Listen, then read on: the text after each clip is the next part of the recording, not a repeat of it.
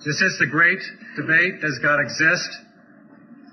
My name is Ben Holman. I direct the program of speech and debate here at the University of California, Irvine. I want to welcome you here this evening on behalf of the speech and debate team. Like many of you, I don't think that Time Magazine fully exhausted this question a couple of years ago in its cover article. And so we're here to ask the question again. And to begin, I'd not like to be inappropriate and offer an invocation, but instead, I'd like to point to you the sponsor of tonight's debate, and that is the UCI Speech and Debate Team, nationally ranked 21st in the country. And I'd also like to introduce to you a member of that speech and debate team, himself a nationally ranked speaker and the team's president, and our moderator this evening, David Agopian.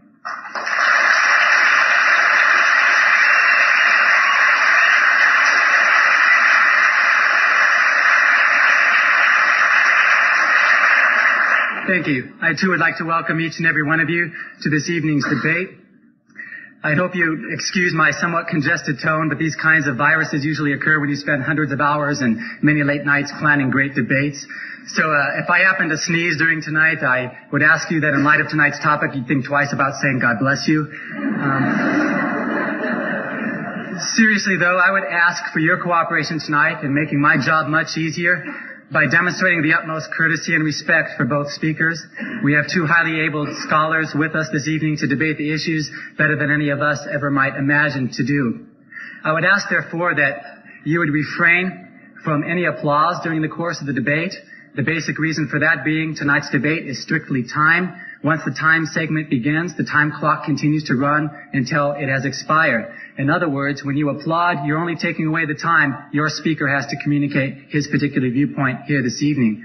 I would also ask, in addition to refraining from applause, that you would also refrain, refrain, that is, from flash bulbs if you have any flash cameras with you here this evening. And the final note of my stern disciplinarian attitude this evening, I would ask that you would also refrain from any external verbal participation here this evening. That's a speech and debate way of saying we'd ask you if you'd please allow the scholars to do the debating. We do have CSO officers here and former university football players who will uh, they'd be happy to exert their influence, shall we say, and escort you to the door. But we would seriously ask for your cooperation in that. Allow me now to explain the logistics of the mechanics that we're going to follow in this evening's debate. The debate format, very briefly, is a hybrid debate format. It's not as strenuous or rigid as the presidential debate as you saw earlier this year, and it's not as strenuous as the intercollegiate debate patterns.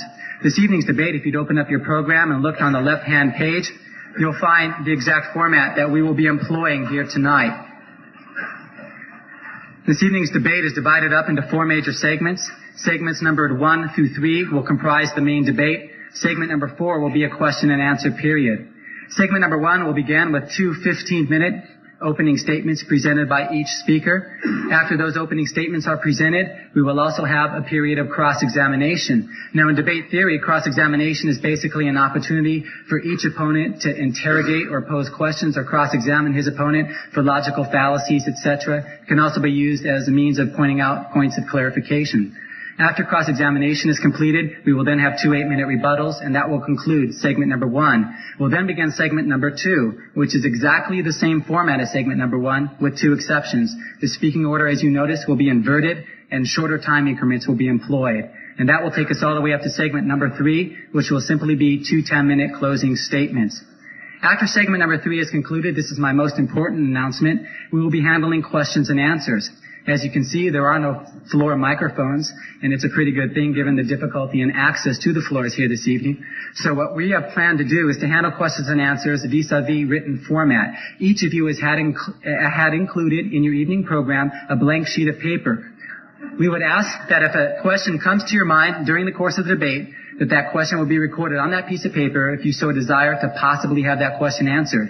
At the conclusion of segment number three, our speech and debate team ushers will quickly, promptly enter the aisles to collect those questions from you, fighting over the people seated in the aisles, and they will then be delivered over to our question panelists. They will be sorted through rather quickly, and then we will have three questions for either speaker, depending on the time that we have left with us here this evening.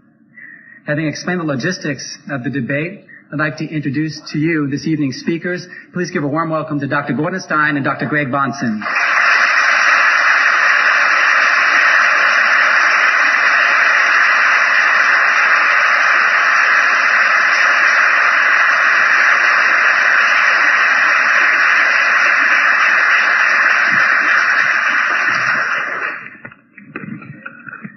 Like to introduce each speaker to you now, let you know a little bit more about their biographical background.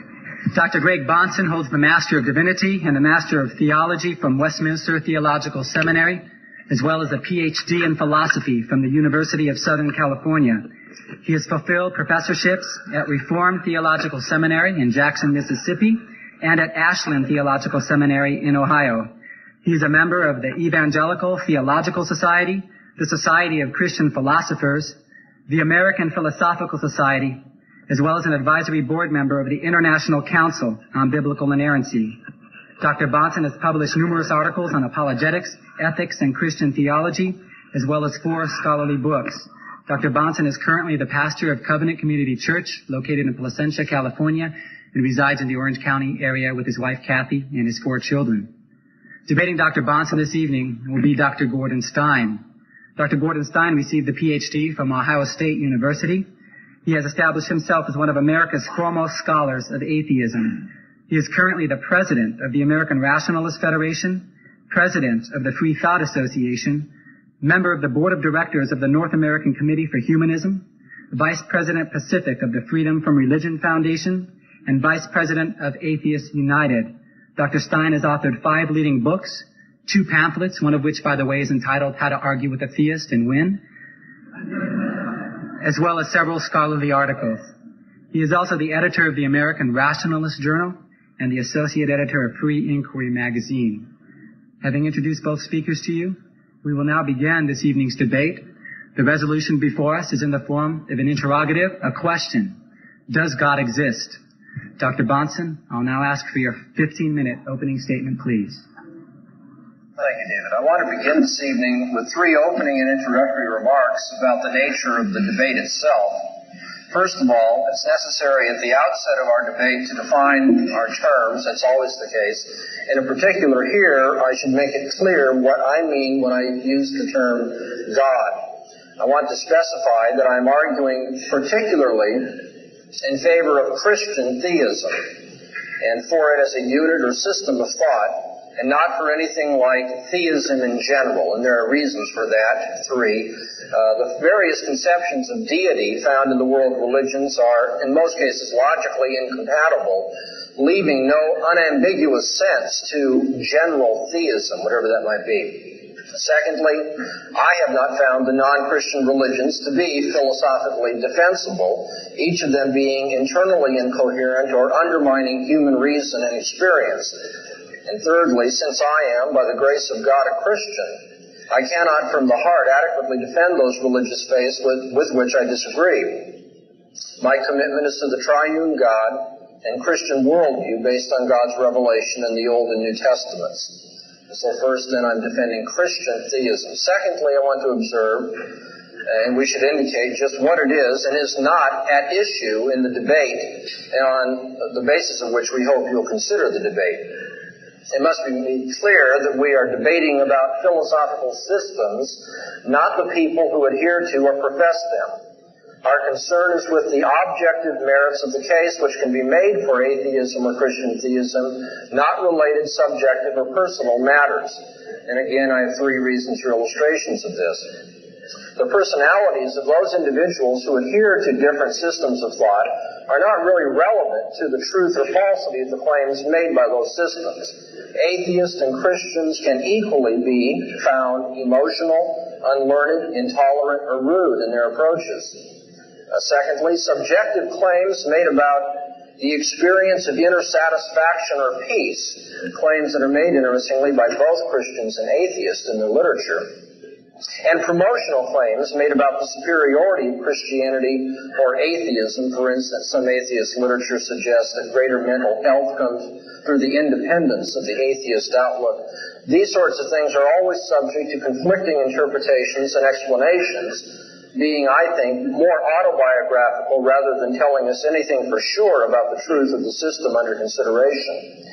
Uh, thirdly, the issue is not whether atheists or professing Christians have ever done anything undesirable or morally unacceptable. One need only think respectively of the atheist involvement in the Reign of Terror in the French Revolution and the professing Christian involvement in the Spanish Inquisition. Now, the question is not whether adherents of these systems have uh, lived spotless lives, but whether atheism or Christian theism as philosophical systems are objectively true. And so I'll be defending Christian theism and I'll be defending it as a philosophical system. My last introductory remark is simply to the effect that I want to concede to my opponent all issues pertaining to the control of ovarian maturation in Japanese quail. Okay. The subject of his doctoral dissertation in 1974 at Ohio State. Dr. Stein is a man of intelligence, and that's not in question in this debate. I would not pretend to hold my own in a discussion with him of the empirical details of his narrow domain of specialized natural science. However, our subject tonight is really much different, calling for intelligent reflection upon issues which are philosophical or theological in character. For some reason, Dr. Stein has, over the last decade, left his field of expertise and given his life to a campaign for atheism. Whatever his perception of the reason for that, I do not believe that it is because of any genuinely cogent philosophical case which might be made for atheism as a worldview and it's to this subject which I now turn for tonight's debate. My opening case for the existence of God will cover three areas of thought. They are the nature of evidence, the presuppositional conflict of worldviews, and finally the transcendental argument for God's existence. First of all, the nature of evidence. How should the difference of opinion between the theist and the atheist be rationally resolved?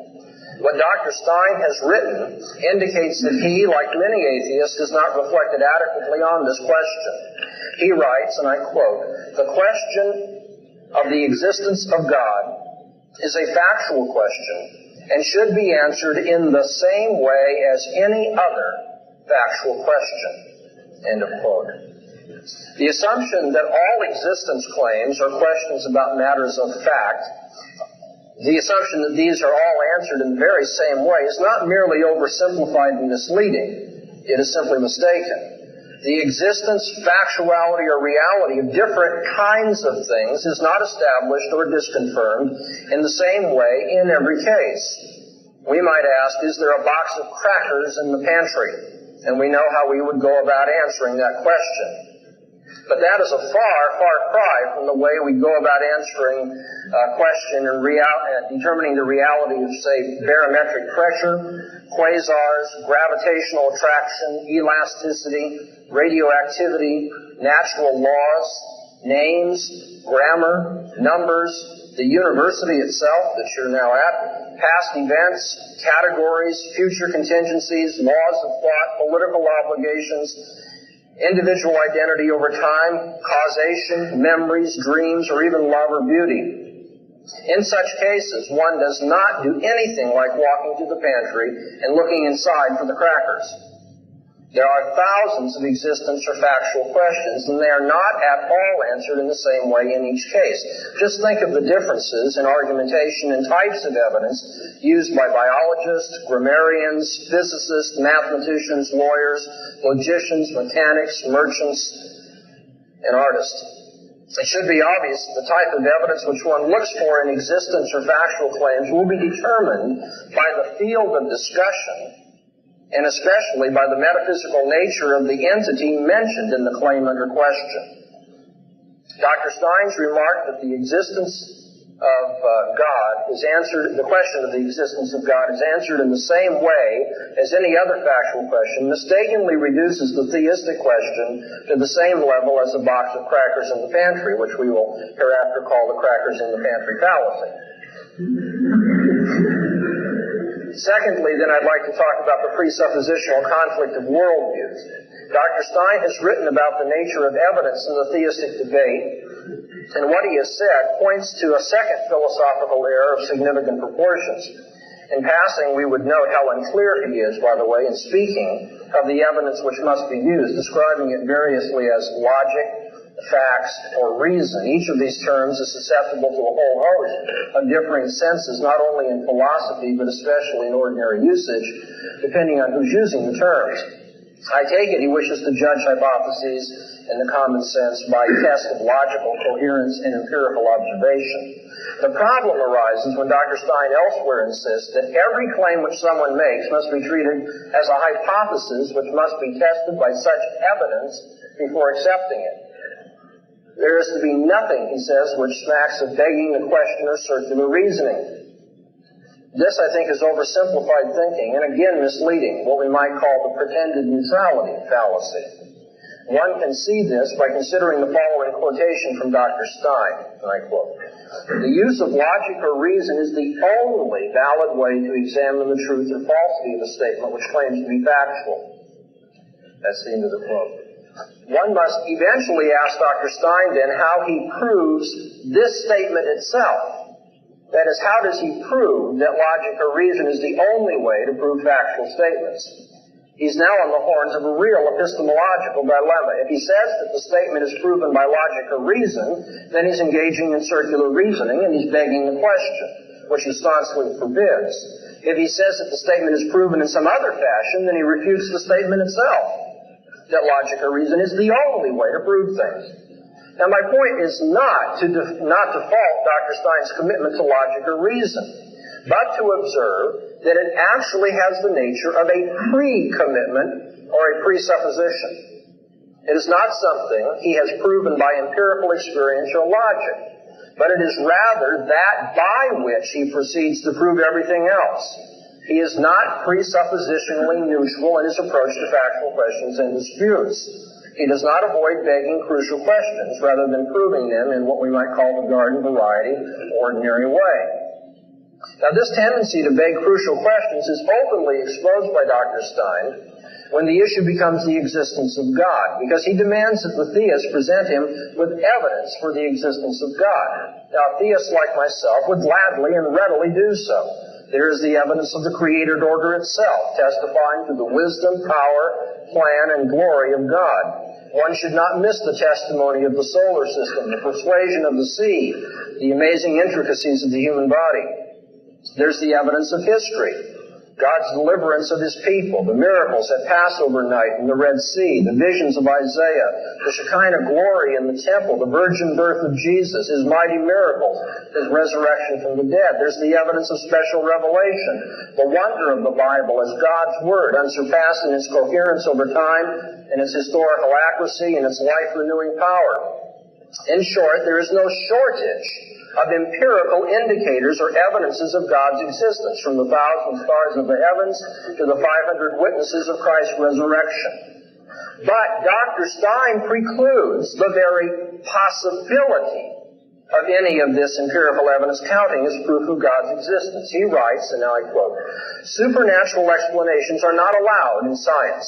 The theist is hard put to document his claims to the existence of the supernatural if he is, in, in effect, forbidden from invoking the supernatural as a part of his explanation. Of course, this is entirely fair, as it would be begging the question to use what has to be proved as a part of the explanation. End of quote. In advance, you see, Dr. Stein is committed to disallowing any theistic interpretation of nature, history, or experience. What he seems to overlook is that this is just as much begging the question on his own part as it is on the part of the theist who appeal to such evidence. He is not at all proven by empirical observation and logic his pre-commitment to naturalism. He has assumed it in advance, accepting and rejecting all further factual claims in terms of that controlling and unproven assumption. Now, the theist does the very same thing, don't get me wrong. When certain empirical evidences are put forth as allegedly disproving the existence of God, the theist regiments his commitments in terms of his presuppositions as well. See, just as the naturalist would insist that Christ could not have risen from the dead, or that there is a natural explanation yet to be found of how he did rise from the dead, so the supernaturalist insists that the alleged discrepancies in the Bible have an explanation, some yet to be found perhaps, and that the evil of this world has a sufficient reason behind it, known at least to God. They both have their governing presuppositions by which the facts of experience are interpreted, even as all philosophical systems, all worldviews do.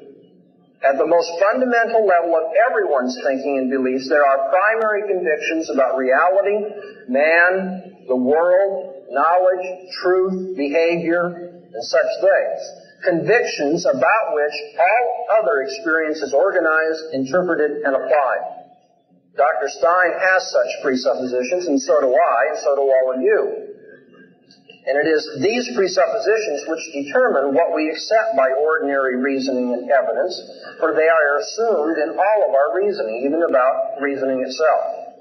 And so I come thirdly then to the transcendental proof of God's existence. How then should the difference of opinion between the theist and the atheist be rationally resolved? That was my opening question. We've seen two of Dr. Stein's errors regarding it. The crackers in the pantry fallacy and the pretended neutrality fallacy. In the process of discussing them, we have observed that belief in the existence of God is not tested in any ordinary way like other factual claims. And the reason for that is metaphysically because of the non-natural character of God and epistemologically because of the presuppositional character of commitment for or against his existence. Arguments over conflicting presuppositions between worldviews, therefore, must be resolved somewhat differently, and yet still rationally, than conflicts over factual existence claims within a worldview or system of thoughts.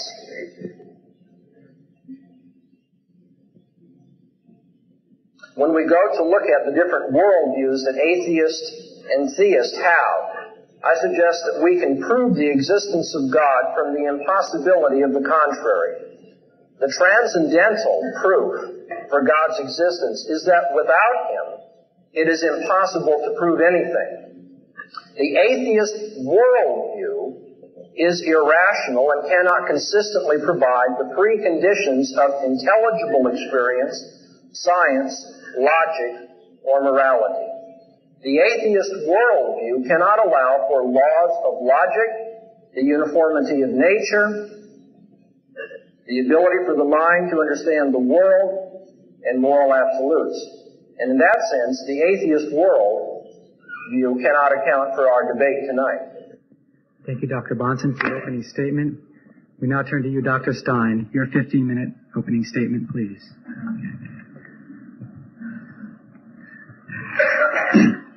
Can everybody hear me? I assume so.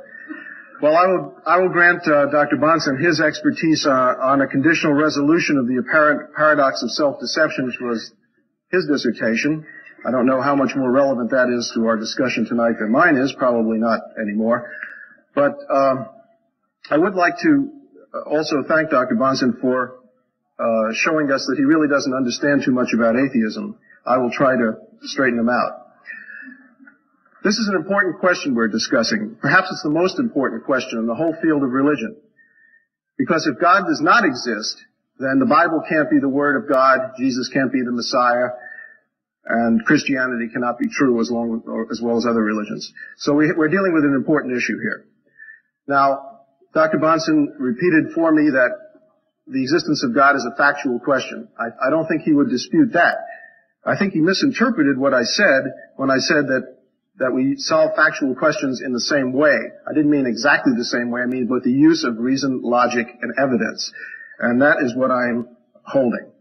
Now, first let me, let me uh, make clear what atheism is and is not. I think this is a very commonly misunderstood subject. Atheists do not say that they're, that they can prove that there's no God. They also, is, an atheist is not someone who denies that there is a God. Rather, an atheist says that he has examined the proofs that are offered by the theist and he finds them inadequate. Now, if I were to say that this gentleman in the, sitting on the front step could fly by flapping his arms, I would be making a kind of unusual statement. And it would be up to me or him to demonstrate that he could fly. If he can't demonstrate it, then we don't believe that he can fly. Now, if he doesn't demonstrate it right now, that doesn't mean he can't fly. It just means he can't fly right now. Now, so that we do not deny that he can fly because he can't demonstrate it right now, but we say he has not proven his case. And therefore we do not believe that he can fly until he does so, prove so. And this is what an atheist says about the existence of God. He says the case is unproven, not disproven. So an atheist is really someone who is without a belief in God or who does not believe in a God. It is not someone who denies the existence of a God or who uh, says that one does not exist or can prove that one does not exist. Now, I think uh, I would like to define a God as well. I'm not so sure I like his definition. I'm not going to stick to just Christian God. I'm going to stick to all kinds of God. And I'm going to use the definition which both Father Copleston and Bertrand Russell both agreed on in their famous debate. Now this was both sides, the leading exponents of both sides both managed to agree on a definition of God, so I think it must be at least an adequate one, if not a great one. And this is the definition. A supreme personal being, distinct from the world and creator of the world. Now, before asking for proof of God's existence, we need a, we need this satisfactory definition, and uh, I think I've given one which I will find at least satisfactory. And if Dr. Bahnsen doesn't agree, we can hear from him. Now, nothing can qualify as evidence for the existence of a God unless we have some idea what we're searching for. That's why we need the definition. Uh, just a second. Okay, now, throughout history, 11 major kinds of evidence or proof have been offered in my, for the existence of God. In my campus visits, I have heard all kinds of other things offered as proof, but they basically fall into those 11 categories with some juggling. And if these 11 proofs do not work out logically, or lead to logical self-contradictions, then we can only say that God's existence is not proved. It's unproven, not disproven, as I mentioned before. Now, if if I um, assert that this gentleman can fly by flapping his arms, as I said, the burden of proof was on him. Supposing I make a more complicated statement. Supposing I say that my dog can talk in complete sentences. Okay, well again, I'm making a kind of unusual statement and it's up to me to offer the evidence. So I'd better be prepared to do that or I'd better be prepared to have people not believe what I say. And I'd like a demonstration either of this gentleman's flying or of my dog talking, if I were the person who was being asked to make a conclusion, before I admitted that such things were possible or existed.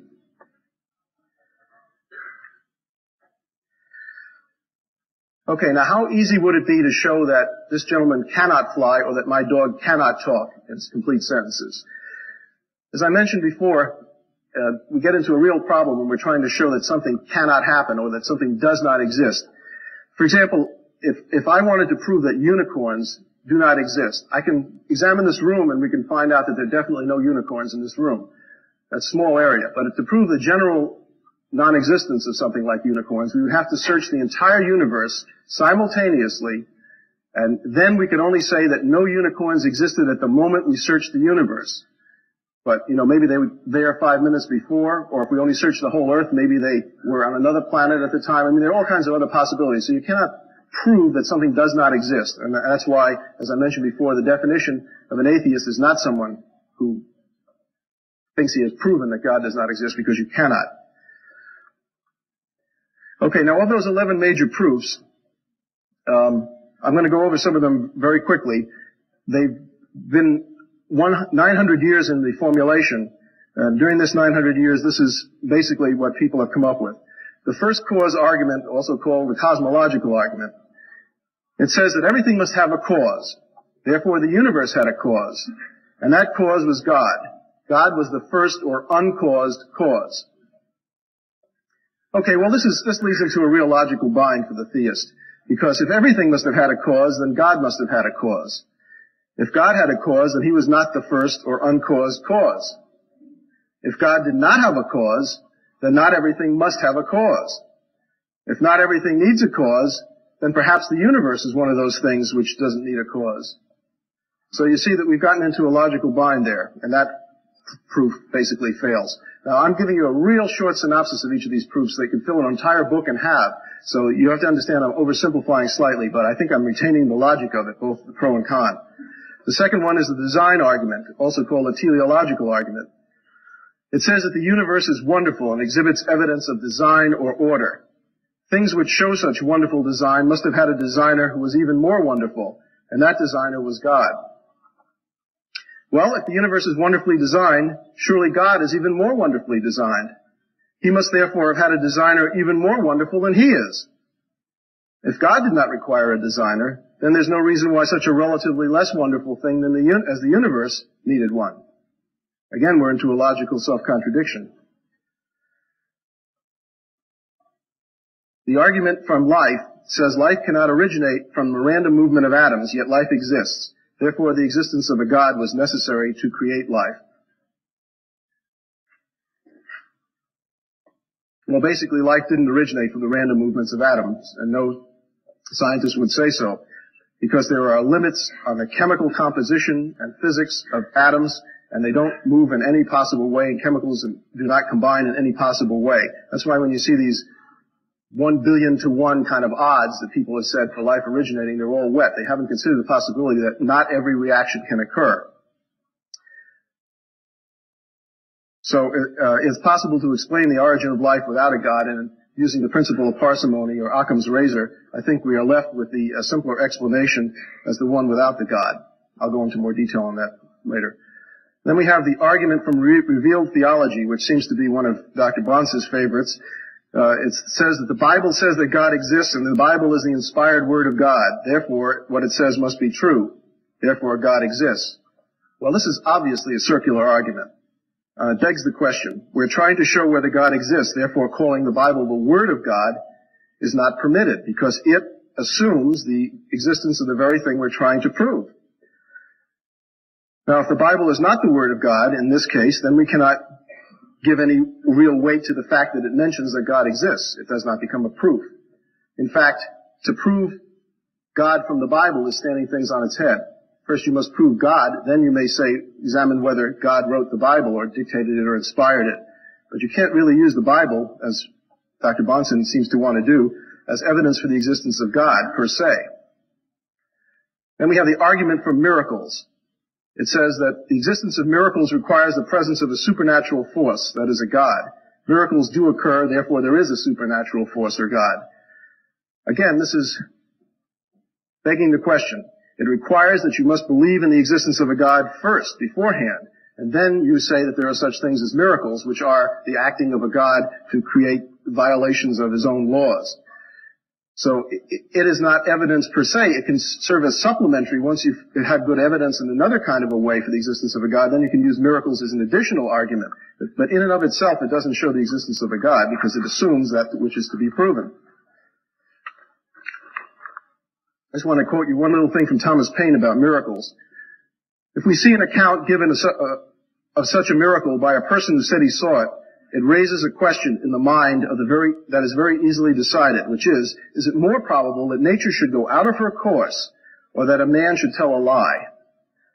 We have never seen in our time nature go out of her course, but we have good reason to believe that millions of lies have been told in the same time.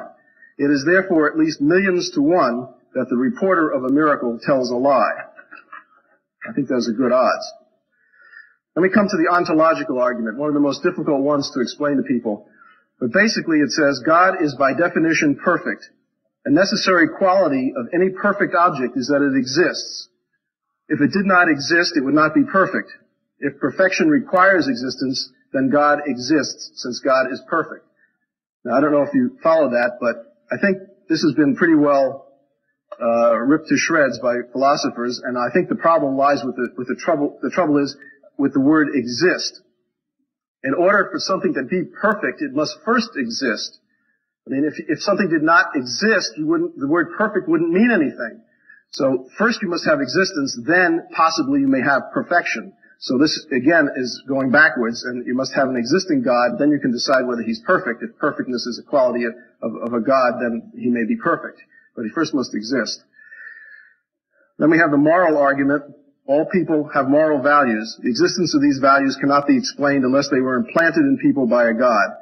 Therefore, God exists. Well, their answer to this is that there are simpler ways of explaining the origin of moral values without requiring the existence of a God to implant them in people. Besides, if moral values did come from a God, then all people should have the same moral values, and they don't. People's moral values are the result of an accommodation which they have made with their particular environment and then taught to their children. It's a survival mechanism. Okay, then we have the wish argument. Without the existence of a God, people would have no reason to live or be good. Therefore, there has to be a God. Most people believe in a God, therefore there is a God. This really isn't a proof, it's just a wish. It's like saying it would be nice to have a God, which it would, but, you know, that doesn't have anything to do with whether there is one or not. Um, finally, we have, oh, I'm missing one here. We have the argument from faith. The existence of a God cannot be proven by the use of reason, but only by the use of faith. The use of faith shows that there is a God, therefore God exists. Reason or logic is a proven way of obtaining factual information about the universe. Faith has never been shown to produce true information about the universe because, because faith is believing something is so because you want it to be so without adequate evidence. Therefore, it can't be used to prove the existence of anything. In addition, additional fact is that faith often gives you the opposite answer to what is given by reason to the same problem. And this also shows that faith does not provide valid answers.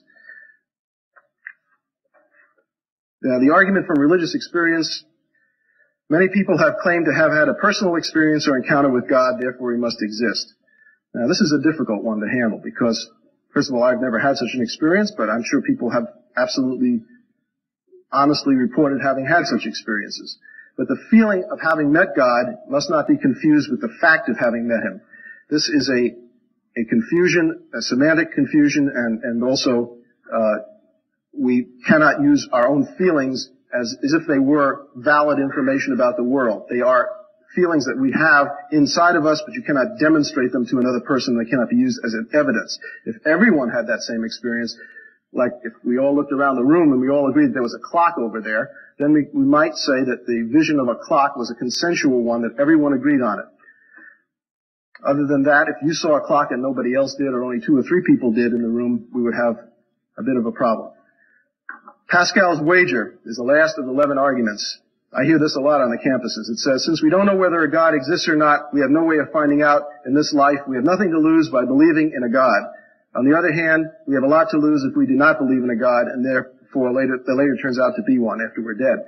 Well, this is only true if number one, you're right about a God, and secondly, if you have picked the right religion, because you might wind up at the judgment day and be right about a God, but he says, what religion were you? And you say, I was an Islam, believer in Islam. And he said, sorry, Catholicism is the right religion. Down you go.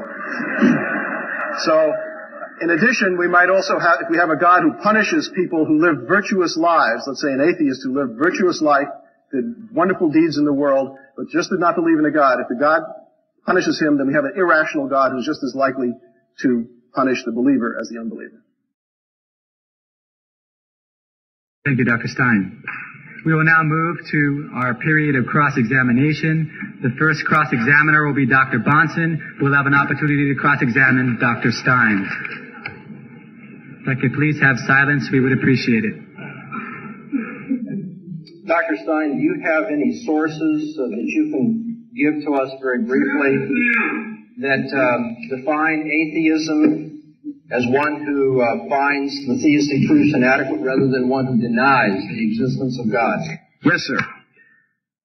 George Smith's book, which you will find for sale in the back of the room upstairs later, called Atheism, The Case Against God, make, which I think is the finest book ever written on the subject, makes this quite explicit. I happen to have a copy right here. I can quote you the exact words if you'd like well, to see them. that won't be necessary. Okay. Do you have any other sources? Do I have any other sources? Any other sources? Sure. Um, what would they be?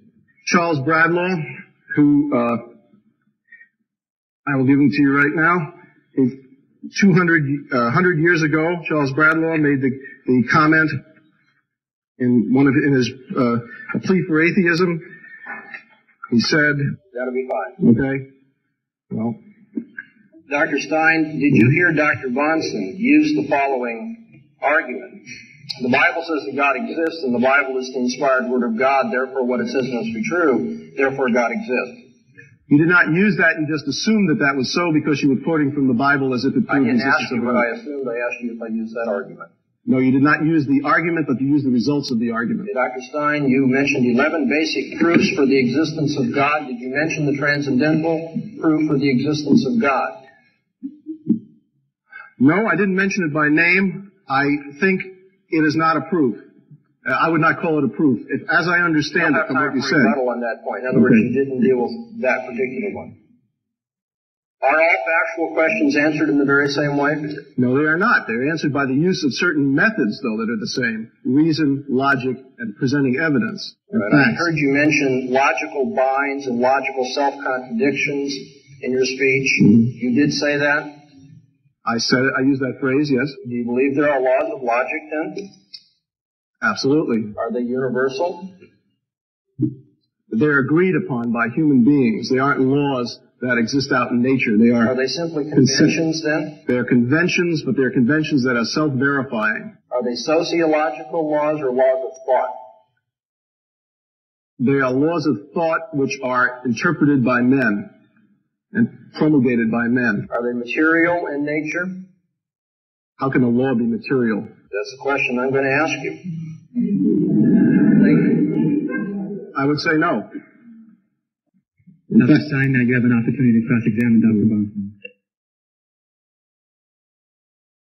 Dr. Bahnsen, uh, would you call God material or immaterial? Immaterial. What is something that's immaterial? Something not extended in space. Can you give me an example of anything other than God that's immaterial? Laws of logic.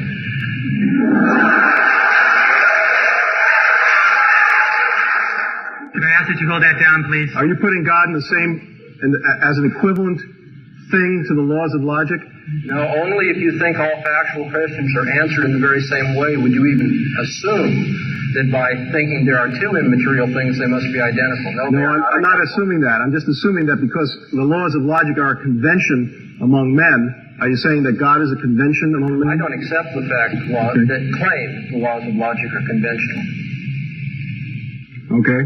Uh, is your God omnipotent, omniscient, and omnibenevolent? He is. You don't find this a contradiction at all? I do not. Okay, well, we'll show you a little later that it is. Um, if your arguments in favor of the existence of God are shown to be incorrect, will you relinquish your be- belief in God? If my arguments are disproven, Yes. will I relinquish my belief in God? If there are no arguments for the existence of God, I wouldn't believe in God. That's not quite answering the question. If someone can show you that there are no arguments, would you relinquish your belief? I'm I- trying to see what, what's the basis the for one your who belief. said that it's impossible to show a universal negative. No one can show that there are no arguments for the existence of God, so we can only deal with those that I know of. Okay, if someone showed that all of the ones that you produced were invalid, what would be your position? Well, you'd have to describe further the conditions of this. Uh, rationally speaking, if there is no basis for belief in the existence of God, I would relinquish that belief. Okay. Is God good? Yes, He is. How do you know that? He saved me. He created me. He made the world and He made it good. He sent His Son into the world to die for my sins. Many of these evidences are quite convincing to me, but I don't use them outside of the worldview in which they make sense, in which they would be taken as true. If you mean, is God good in such a way, or can I give you evidence that you would accept? That would depend on what your presuppositions are. No, I'm asking if God says something, anything, is it right because what God, anything God does is good because God is good, or does it become good just because God said it? I don't know if I said that right. I guess I did. Now, I understand the problem, though it's roughly stated. What God says to be good is good because it reflects His own character. God is good and is the standard of goodness. That's one of the presuppositions of the Christian worldview. Doesn't it indeed, isn't it indeed a presupposition which is presupposed before there is even any actual data from God? Is this a question about my first opening statement? In a sense it is, because although it isn't directly mentioned in your opening statement, it, it, it has to do with the whole idea of whether there are absolutes outside of God, which is a important issue in this whole debate. It may come up later. I still think we're straining at the limits of uh, debate rules here, but I will answer your question. There are no absolutes outside of God. So in other words, the fact that God is good is something that God told you, and that's why you accept it, rather than knowing it ahead and assuming it as a presupposition, which you said a minute ago. That's extremely simplistic. God told it to me, and He provided evidence of it. But you also said it was a presupposition. That's right. Isn't that, isn't that a contradiction? Oh, not at all. There are many things which are presupposed as well as uh, uh, evidenced in this world. For instance, the laws of logic. I would disagree with that, but okay. Um, well, I still have some time. All right.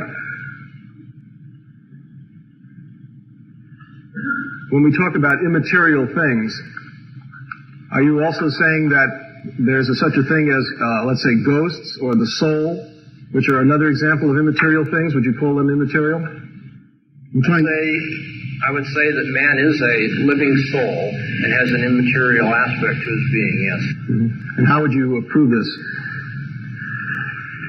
This have to do with the existence of God now? Well, it has to do with the existence of immaterial things. Well, if there's an immaterial being, God, and if the Bible is His Word, then I would say that uh, His revealing the nature of man in the Bible is sufficient proof. And that takes us back logically, as you'll be bound to say, to whether God Himself does exist, and that's what we're supposed to be debating.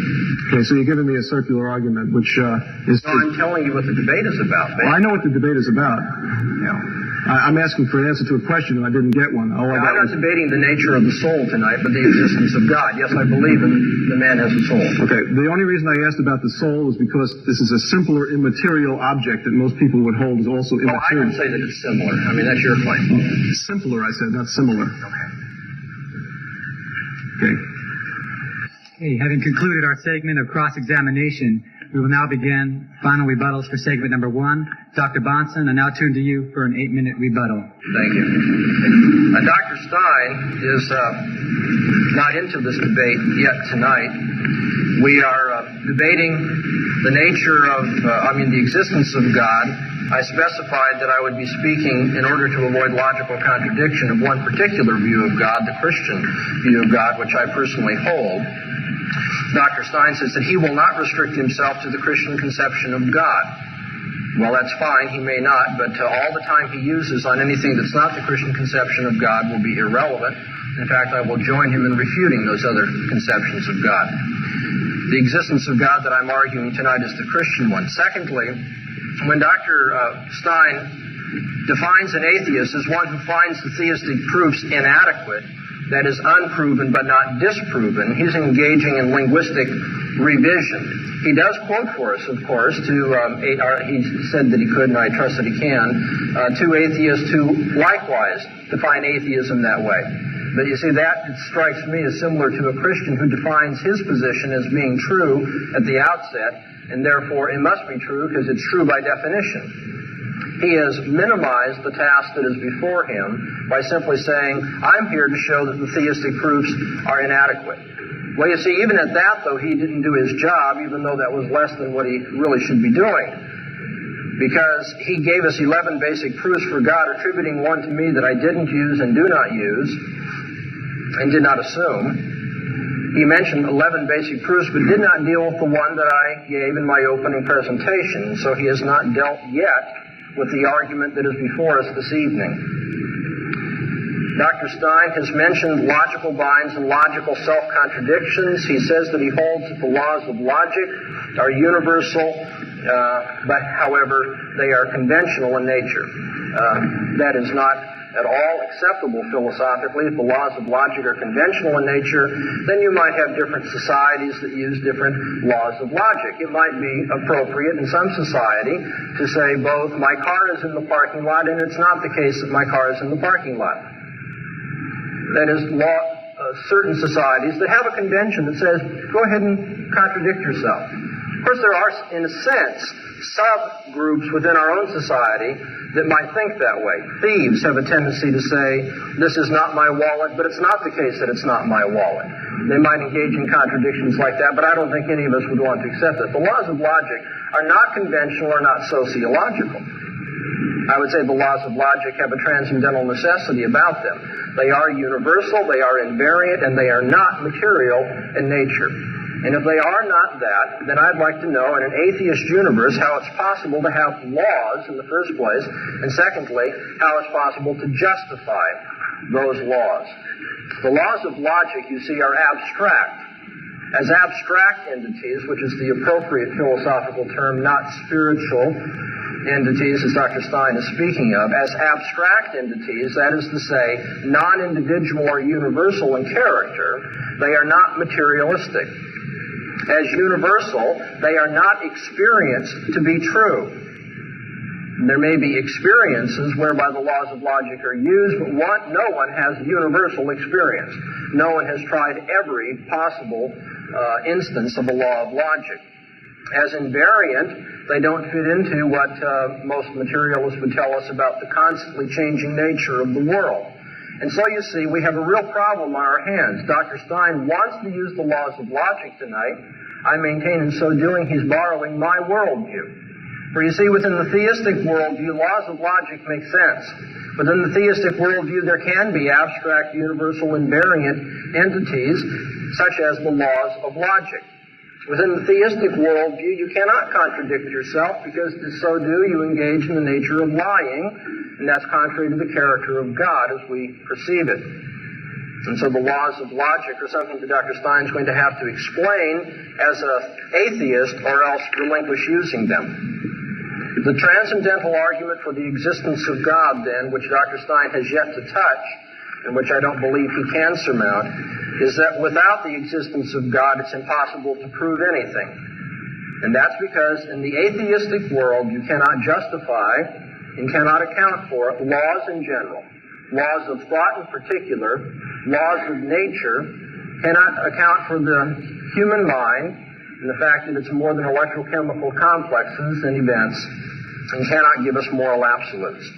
That is to say, in the atheist conception of the world, there's really no reason to debate. Because in the end, as Dr. Stein has said, all these laws are conventional. All these laws are not really law-like in their nature. They're just, well, if you're an atheist and a materialist, you'd have to say they're just something that happens inside the brain.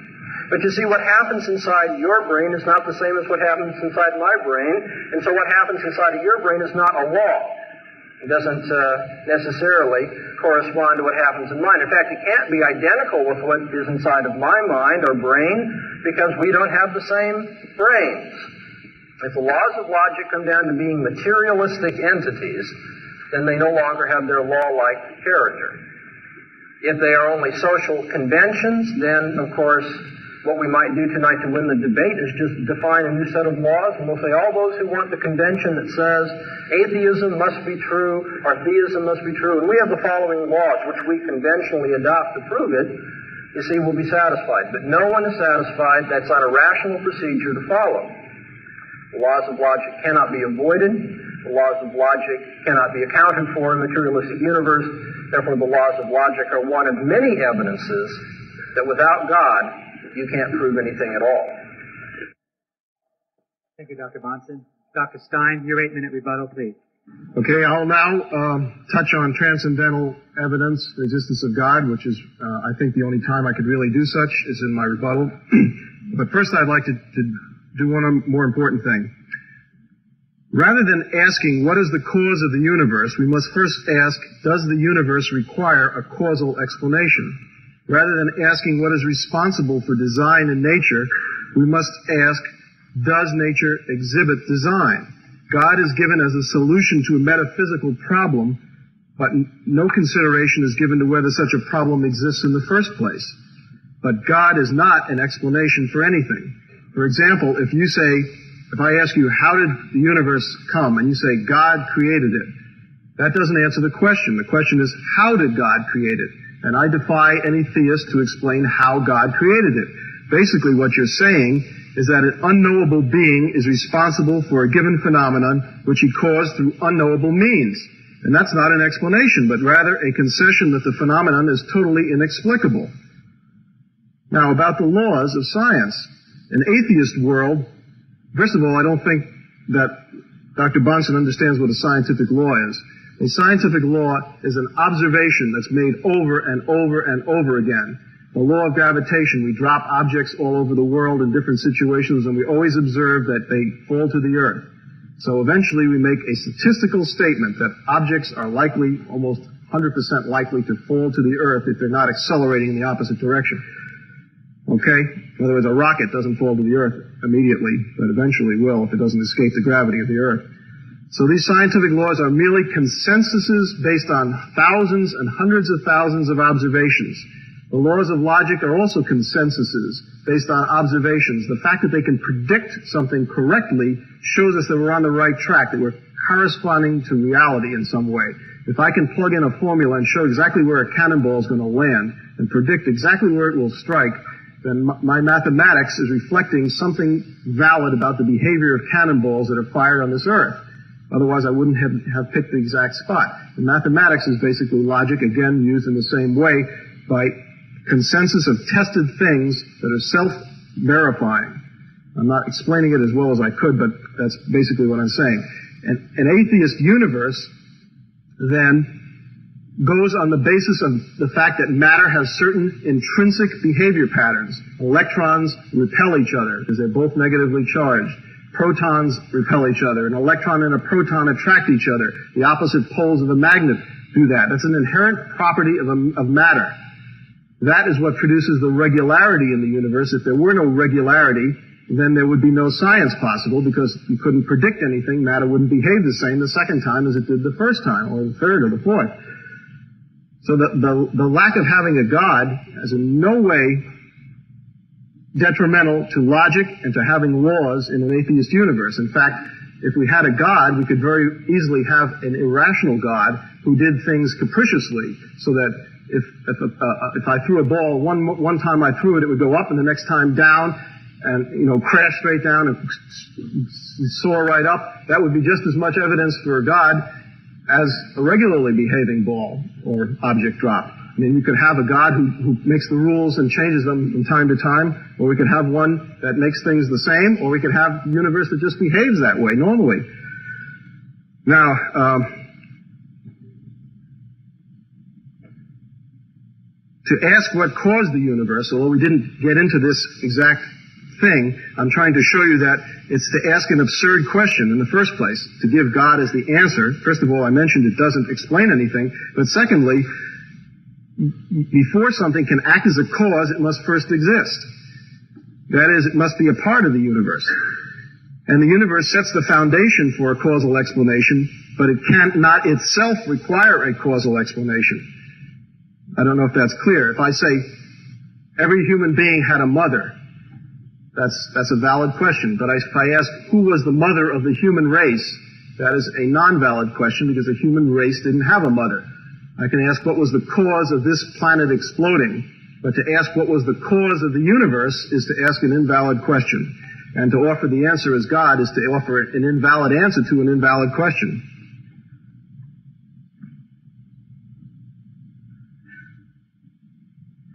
We haven't gotten into morality. I think I'm going to leave that for the second half. If Dr. Bahnsen doesn't raise it, I will. He makes an awful lot of statements that are basically feelings. He felt God entered his life. He felt that this happened. He felt that Jesus was resurrected. Uh, if, if, he, if he were held to the historian's standard, especially the standard required when a miracle is done. As David Hume said, when a miraculous or very unlikely event, such as the resurrection, although Hume didn't use that exact analogy, that exact example, occurs, we must demand an extraordinary amount of proof. If I say that the sun is going to rise tomorrow, we don't need too much proof because it's been rising every day. If I say the sun is not going to rise tomorrow, then we need an extraordinary amount of evidence before someone will take that seriously because it's an unusual event. Okay? Now, he has not held up the historian's standard to a lot of the things he's accepting from the Bible as evidence for God. And I think that if he did so, he would soon see that those evidences dried up. Now, to get to transcendental evidence, finally. The statement that if God did not exist, we couldn't prove anything, and that logic and, and, and uh, scientific laws would be invalid is absolute nonsense, and I think I've demonstrated part of that. He says that laws of logic are the same everywhere. This is not true, although they are mostly the same. And I wonder if he's ever heard of a Zen koan. And the answer to a Zen koan is something which, like, you know, what is the sound of one hand clapping is the most famous Zen koan. The answer to that kind of a question is, is, is in a different type of logic, in a sense, or it's extra logical, if you want to call it that. But I do think that most logic, as we accept it in, in, the, in the Western world and most of the Eastern world, is basis of agreement on people that reflects something about the universe. The idea that, that transcendental evidence for the existence of God is that the, the impossibility of the opposite, that the world view would not be rational if it were atheistic is total nonsense. And I've demonstrated to you that it depends on the inherent properties of matter. If matter has the properties where it behaves regularly, then we have order in the universe, and we have a logical, rational universe without a God. The God issue is not germane if matter behaves in a regular way. And, and I would hold that the properties of matter, as demonstrated over and over again, are regular. And it's an inherent property of matter. So I think that the transcendental evidence statement can be dismissed as mere wishful thinking coupled with misinformation about what scientific laws are and what atheists would hold. In fact, most scientists, in fact, science itself is atheistic. Science is not allowed to use a supernatural explanation for anything. And there's a very good reason for that. If, if your experiment came out one way, you could say God did it. If it came out the opposite way, you could say God did that. You would never make any progress in explaining anything in science, and so the agreed upon consensus for rules of science is that naturalistic explanations only are asked for and allowed. Okay, we have concluded segment number one of this evening's debate. We will now enter segment number two of this evening's debate. Dr. Stein will open segment number two with a 10 minute opening statement.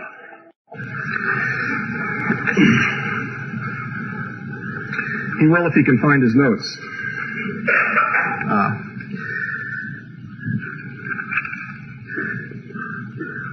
Now, it would, be, it would be logically wrong to say that if all of the proofs fail for the existence of God, that one is justified in saying that there is no God.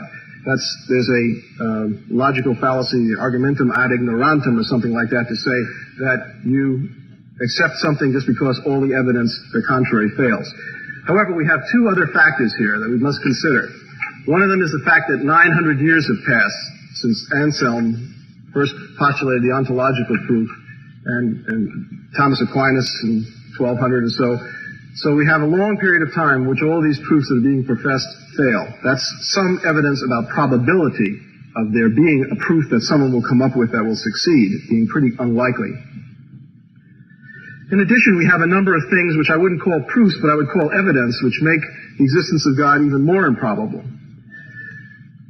And one of them is the problem of evil. If an all good God exists, why is there evil in the world? We are told with God that all things are possible. If it was possible, if all things are possible, it would be possible for him to create a world in which the vast mass of suffering that is morally pointless, such as the pain and misery of animals, the cancer and blindness of little children, the humiliations of senility and insanity were avoided. These are apparently inflictions of the Creator himself, or else we have a God that isn't omnipotent. If you admit that, then you deny his goodness. If you say that he would not have done otherwise, you deny with him things that are possible, all things that are possible. So the atheist can present several arguments which sort of increase the probability that there isn't a God. They're not proofs, as I said. One of them would be the problem of evil. The idea is that the presence of evil is incompatible with an all good, all knowing, and all powerful God, as Dr. Bahnsen suggested he believes in. Now, he could come up with a statement that injustice in this world may well be corrected in the next world, but that would be something that he would be making without any evidence whatsoever. Just, again, wishful thinking. He could also say that, get out of this bind by saying that God is not all powerful, that some things, some evil things are done without his permission, so to speak. in which case his statement that he believes in an omnipotent God is falsified. He could also say that the old argument about free will, which is uh, basically a morass into which he may fall if he wishes, will not do. To say that God gave man free will and therefore he can choose between the evil and good is to impl- imply that God was unable to make a man who could examine both sides and always choose the good.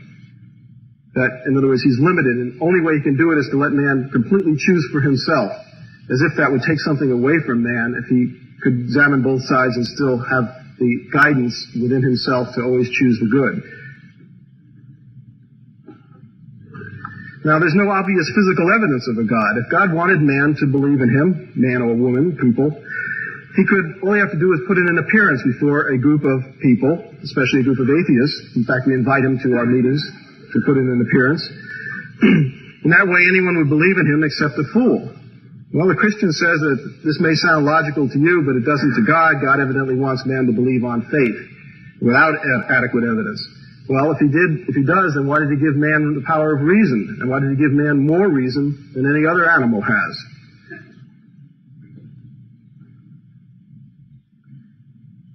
If all living things on the earth were created by a God and he was a loving God who made man in his own image, how do you explain the fact that he must have created the tapeworm, the malaria parasite, tetanus germs, polio, ticks, mosquitoes, cockroaches, and fleas?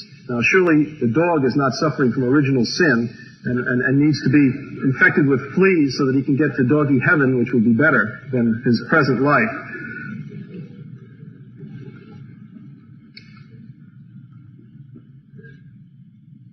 The standard answer of theists to this kind of question is things have to be better after death. You know, we have these things on earth. It's a vale of tears, so to speak.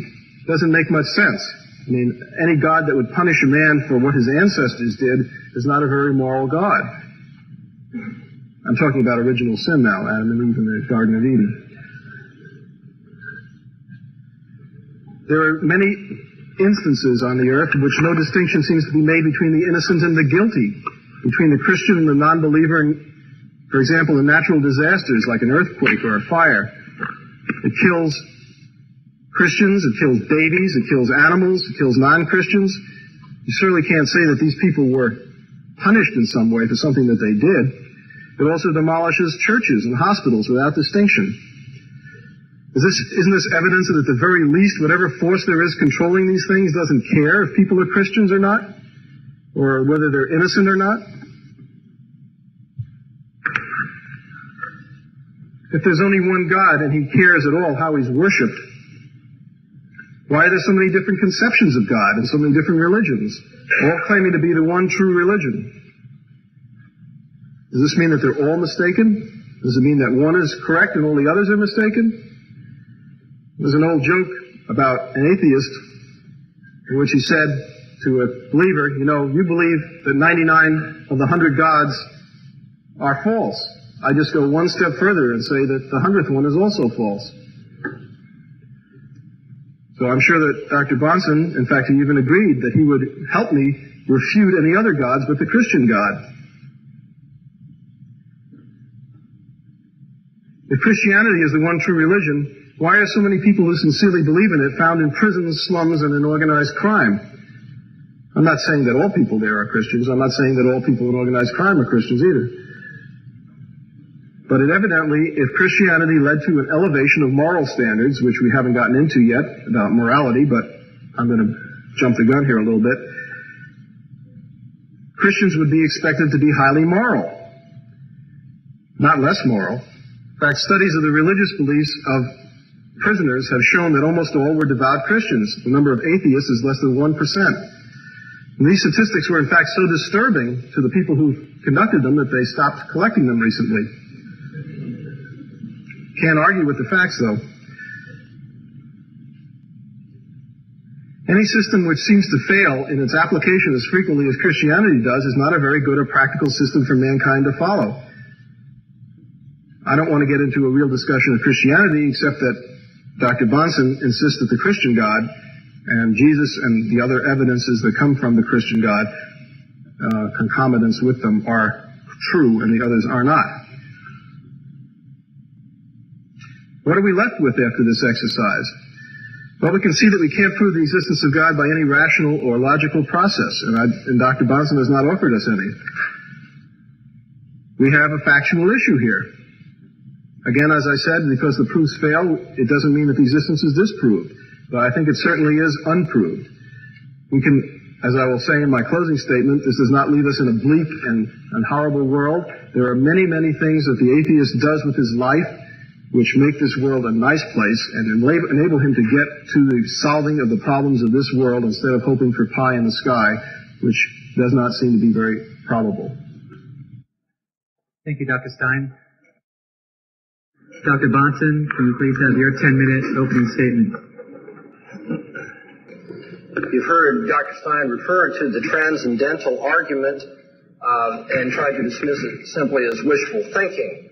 Um, if our debate is going to degenerate to that level, then I, I, dismiss everything that he has said as wishful thinking and uh, delusion, and why don't we all go home? Uh, no, we're here to argue. We're here to argue a point, and I'm going to see, stay just with the argument that has been proposed and see if Dr. Stein has any better answer than just to engage in name calling. Dr. Stein proposes an atheist worldview. I propose a Christian theistic worldview. There are other proposals out there that may want their evening to debate as well.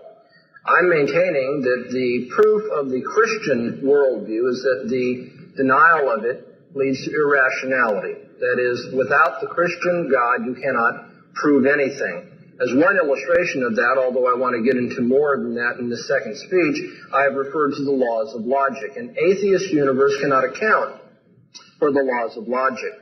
Uh, Dr. Stein, interestingly, in responding to that, spoke more about scientific law than he did about the laws of logic, and I'm going to come back to that in my rebuttal to uh, ask about uh, his understanding of scientific law. However, we still hear him saying that laws of logic are a matter of consensus and are just this way. That is to say, I don't have to prove that the laws of logic exist or that they are justified. It's just this way. Now, friends, how would you like it if I would have conducted the debate in that fashion this evening? God exists because it's just that way. You just can't avoid it. You see, that's not debate, that's not argument, and it's not rational. And therefore, we have, interestingly, an illustration in our very debate tonight that atheists cannot sustain a rational approach to this question. What are the laws of logic, Dr. Stein, and how are they justified? We still have to answer that question from a materialist standpoint. From a Christian standpoint, we have an answer, obviously. They reflect the thinking of God. They are, if you will, a reflection of the way God thinks and expects us to think. But if you don't take that approach and want to justify the laws of logic in some a priori fashion that is apart from experience, sometimes that suggests when he says these things are self-verified, then we can ask why the laws of logic are universal, unchanging, and invariant truths. Why they in fact, apply repeatedly in the realm of contingent experience. Dr. Stein told you, well, we use the laws of logic because we can make accurate predictions using them. Well, as a matter of fact, that doesn't come anywhere close to discussing the vast majority of the laws of logic. That isn't the way they are proven. It's very difficult to conduct experiments on the laws of logic of that sort. They are more conceptual in nature rather than empirical or predicting certain outcome in empirical experience. But even if you want to try to justify all of them in that way, we have to ask why is it that they apply repeatedly in a contingent realm of experience? Why in a world that is random, not subject to personal order as I believe Christian God, why is it that the laws of logic continue to have that success generating feature about them? Why should they be assumed to have anything to do with the realm of history? Or why should reasoning about history or science or empirical experience have these laws of thought imposed upon it? Uh, once again, we have to come back to this really uh, unacceptable idea that they're conventional. If they are conventional, then of course there ought to be just numerous approaches to scholarship everywhere, different approaches to history, to science, and so forth, because people just adopt different laws of logic. That just isn't the way scholarship proceeds. And if anybody thinks that is adequate, then they just need to go to the library and read a bit more. The laws of logic are not treated as conventions. To say that they are merely conventions to say, is simply to say, I haven't got an answer. Now, if you want to justify logical truths along a posteriori lines, that is, rather than arguing that they're self-evident, but uh, rather arguing that there's evidence for them that we can find in experience or by observation, uh, that approach was used, by the way, by John Stuart Mill. Um, people will say we gain confidence in the laws of logic through repeated experience, and that experience is generalized. In um, some weaker moments, I think Dr. Stein was trying to say that. Of course, some of the suggested logical truths, it turns out, are so complex or so unusual that it's difficult to believe anyone has perceived their instances in experience. But even if we restrict our attention to the other, more simple laws of logic, it should be seen that if their truth cannot be decided independently of experience, then they actually become contingent. That is, if people cannot justify the laws of logic independent of experience, then you can only say they apply as far as I know in the past experience that I've had. They are contingent, they lose their necessity, universality, and invariance. Why should a law of logic, which is verified in one domain of experience, by the way, be taken as true for unexperienced domains as well? Why should we universalize or generalize about the laws of logic, especially in a materialistic universe not subject to the control of a personal God? Now, it turns out if the a priori and the a posteriori lines of justification for logical truths are unconvincing, as I'm suggesting briefly they both are, perhaps we could say they are linguistic conventions about certain symbols. Uh, certain philosophers have suggested that the laws of logic would not be taken as inexorably dictated, but rather we impose them, we impose their necessity on our language. They become, therefore, somewhat like rules of grammar. And as John Dewey pointed out so, um, you know, so persuasively earlier in the century, laws of grammar, you see, are just culturally relative. If the laws of logic are like grammar, then the laws of logic are culturally relative too. Why then are not contradictory systems deemed equally rational? If the laws of logic can be made culturally relative, then we can win the debate by simply stipulating a law of logic that says anybody who argues in this way has uh, got a tautology on his hands, and therefore it's true. Why are arbitrary conventions like the logical truths so useful if they're only conventional? Why are they so useful in dealing with problems in the world of experience? is that we must ask whether the atheist has a rational basis for his claims. Atheists love to talk about laws of science, laws of logic. They speak as though there are certain moral absolutes for which Christians were just a few minutes ago being indicted because they didn't live up to them. But who is the atheist to tell us about laws?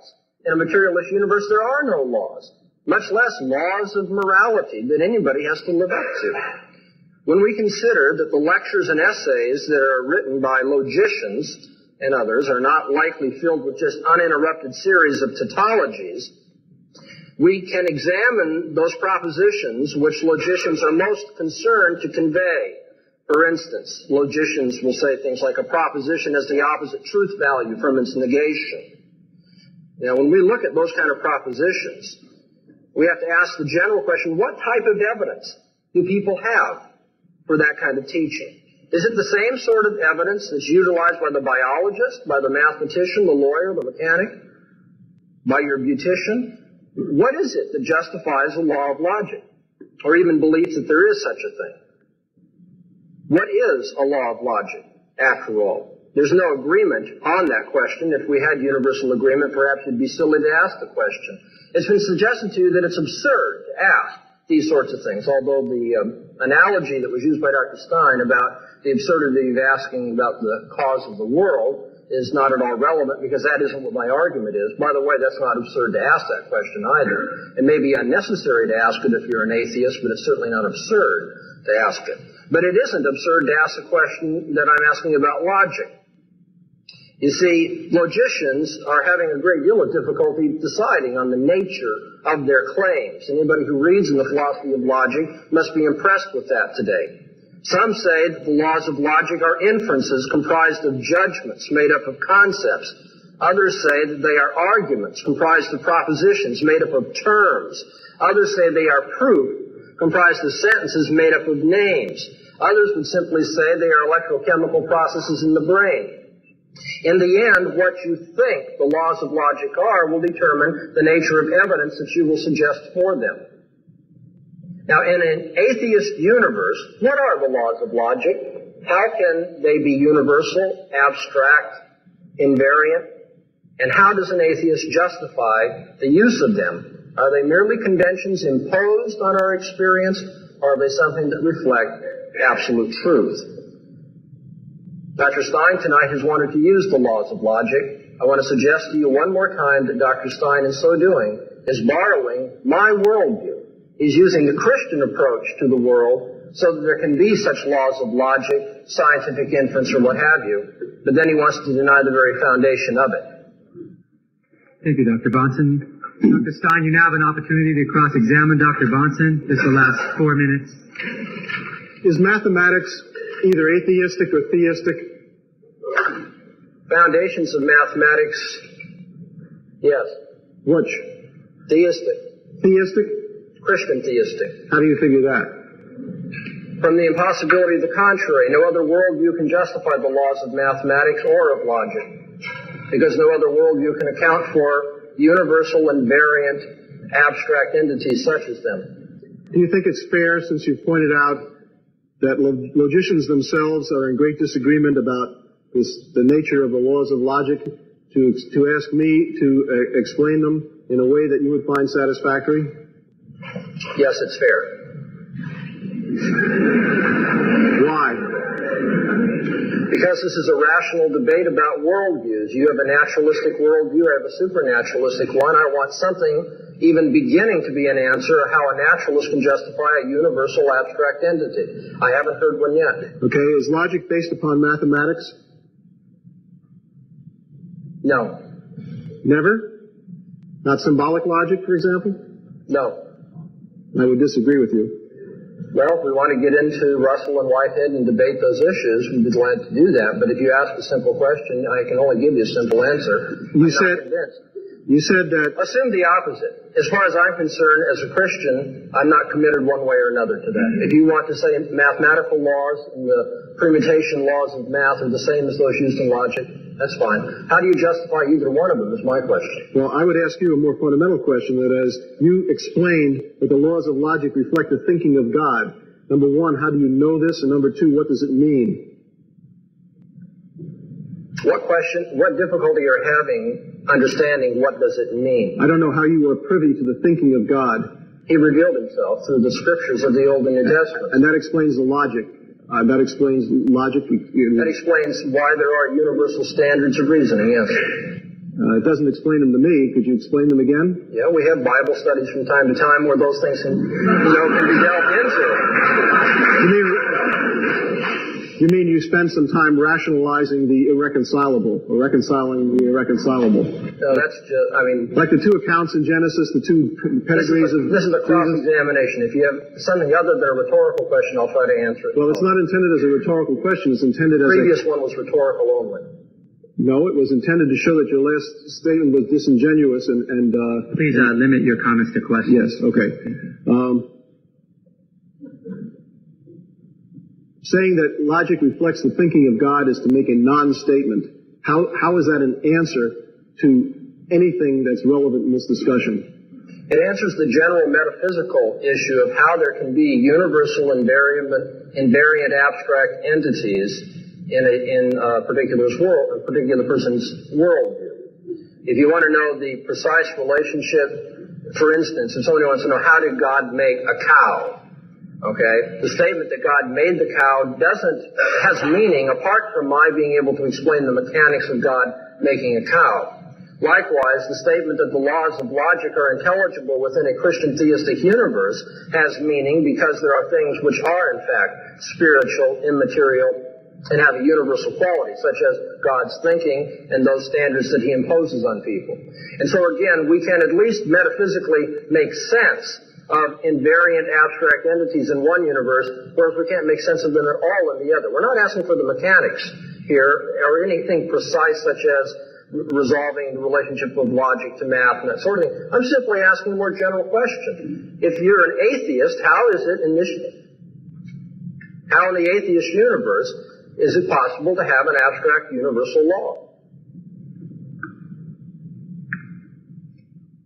Thank you, Dr. Stein. Dr. Bahnsen, you now have a four-minute opportunity to cross-examine Dr. Stein. Hey, Dr. Stein, you made reference to David Hume and his rejection of miracles. Have you also read David Hume in his discussion of induction, or more popularly, the uniformity of nature? Long time ago. I, I can't recall the, uh, exactly what he said. I have read David Hume. All right. Thoroughly. Were you convinced a long time ago that you had an answer to Hume's skepticism about induction? Can't answer that question honestly. I don't remember what, this is at least 15 years ago that I read this. Scientific laws were, the validity of scientific laws were undermined by Hume when he contended that we have no rational basis for expecting the future to be like the past, or if you will, to be for there to be to be types of events, so that one event happening can be um, understood as a type of event. So where it's seen happening somewhere else, the same consequence can be expected from similar causation. Hume said we had no rational basis for that. Can we have a question, please, for Dr. Stein? Yeah, I'm trying to set up the question. Hume suggested that there was no rational basis for expecting the future to be like the past, in which case science is based simply on convention, or if you will, habits of thought. Do you agree with Hume? Not on this issue, I don't. Do you now have an answer for Hume? I think he was wrong about that one thing, but he was also right about a lot of other things. Nobody's perfect. What is the basis for the uniformity of nature? that I went through this, but I'll be glad to reiterate it. Okay. The uniformity of nature comes from the fact that matter has certain properties which it regularly exhibits. It's part of the nature of matter. Electrons, oppositely charged things attract, and the same charges repel. Uh, there are certain valences that can fill up the shell of an, of an atom, and that's as far as it can combine. Do all electrons repel each other? If they're within a certain distance of each other, yes. Have you uh, tested all electrons? All electrons that have ever been tested repel each other. I have not tested all. Have you read all the tests on electrons? Me personally, or can I go on the witness of experts? Have you read all of the witnesses about electrons? All it takes is one witness to say no, and it would be on the front pages of every physics journal, and there are none, so therefore I would say yes, in effect, by, by default.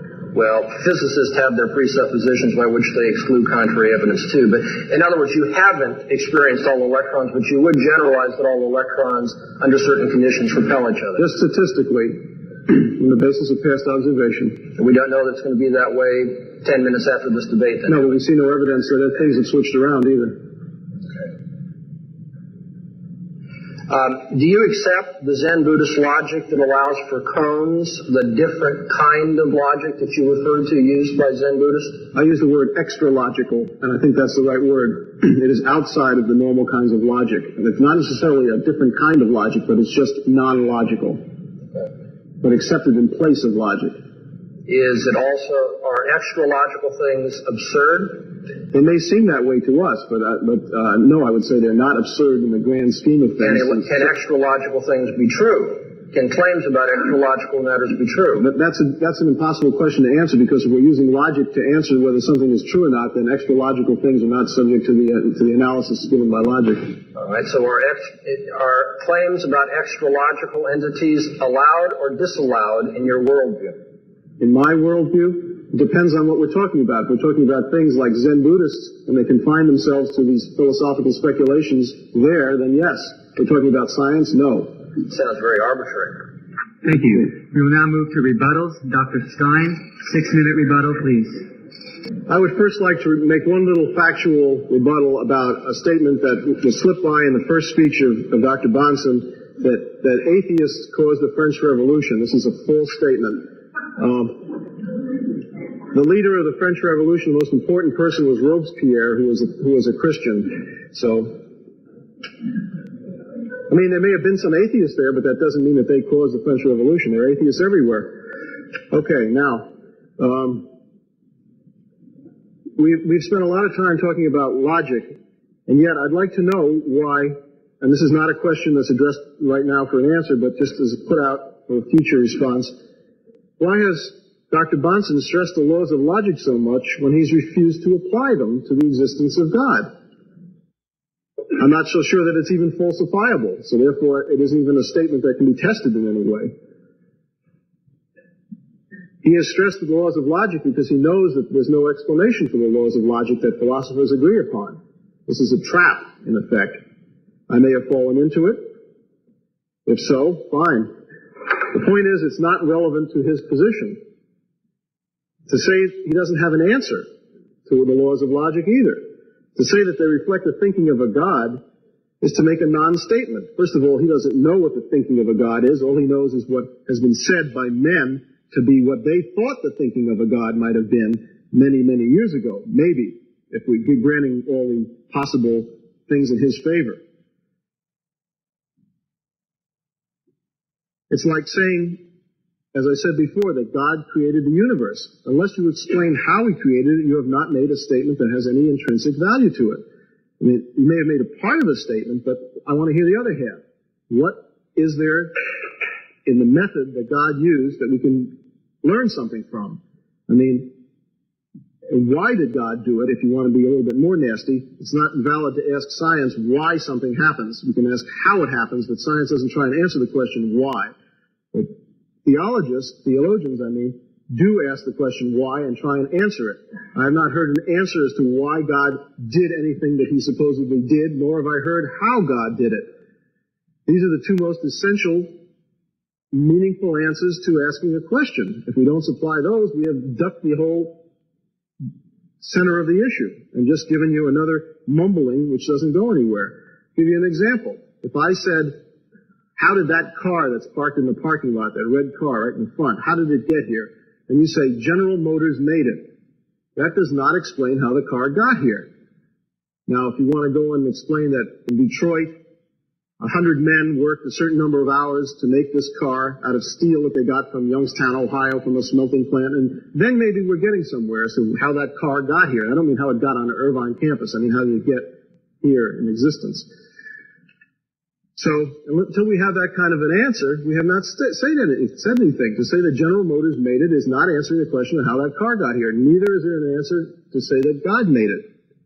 And I would ask Dr. Bahnsen to explain, if he thinks he knows the answer, which none of these philosophers know about the laws of logic, to put his answer in some kind of meaningful language. To say that, reflect, that the laws of logic reflect the thinking of God is to make a non-meaningful statement. And not just to me, to anyone. I want to know whether God thinks rationally all the time, whether he can be irrational. How do we know when he's being irrational? Is it possible for him to be irrational? I want to know what kind of logic God uses. Does he use the kind of logic that we can demonstrate, that we can test in the same way that we use the logic that we're talking about in science? If so, should it be impossible for God to contradict himself in any way? Can he make a, a stone so big he can't lift it? Is that a, a logical impossibility? Is God limited by that kind of a thing? Can God make a square circle? I mean, these are little logical games that we play that don't really ask important questions, but they have a, a reflection on some kind of a problem that he is having with his concept of God.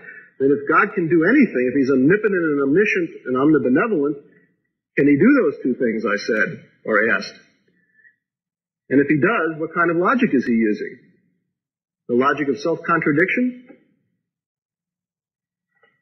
Until we have some answers to these questions, I don't think we've got very much meaningful from Dr. Bahnsen in the first place about any issue. He certainly hasn't applied logic to the proofs for the existence of God that have been offered by philosophers. Thank you, Dr. Stein. Dr. Bahnsen, you now have six minutes allocated for your rebuttal. Right. Dr. Stein has uh, demonstrated, it seems to me repeatedly in the course of tonight's debate, uh, the claim that was made very early on in my original statement, and that's that the atheist worldview cannot give an account of those things which are necessary for rational discourse or science. When asked about uh, Hume and the um, skepticism that he generated about induction or the uniformity of nature, we don't hear an answer coming forth. I don't think there will be an answer coming forth from the atheist worldview. However, Dr. Stein, who is an atheist, has said, and I think this is close to a quote, if there were no uniformity, science would be impossible. Exactly, Dr. Stein. If there were no uniformity, science would be impossible. So on what basis in an atheist universe is science possible? Since in an atheist universe, there's no basis for assuming that there's going to be uniformity. For someone to say, well, it's been that way in all the cases in the past that we know of, and therefore very probably it's going to be that way in the future, is to assume, because you're using probability, that the future is going to be like the past. That is to say, is to beg the very question that's being asked you. Now, of course, if you don't like the tough philosophical questions that are asked you about the nature of laws of logic, how they are justified, the nature of natural law, how it is justified, and so forth, and just dismiss it as absurd questions or non-questions that no one understands and does not have meaning, seems to me it's just to uh, try to give medicine to a dead man. You see, it's to say, I'm not going to reason about that because I haven't got an answer to it, and that's just uncomfortable. But you see, these are philosophical questions which not just Christians, by the way, but all philosophers have had to ask and face throughout the centuries. Dr. Stein doesn't even begin to scratch the surface of giving us an answer how, how an atheist worldview can account for laws. Laws of science, laws of logic, laws of morality. And yet he does tell us without them, science would be impossible. As for the transcendental argument not being logical, um, I mean, you can claim that, but I've yet to see Dr. Stein show any self-contradiction or any violation of the laws of logic in it.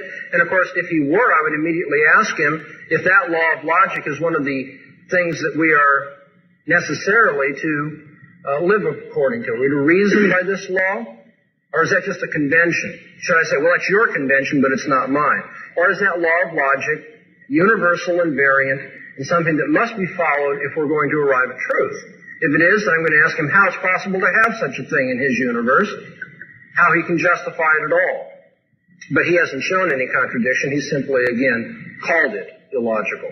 Whether it's falsifiable or not, I mean, even asking that question, I think, shows that Dr. Stein is not really aware of the philosophical nature of the question and debate before us. No, transcendentals are not falsifiable. That's right, but they are very meaningful. The very sorts of things that philosophers deal with all the time.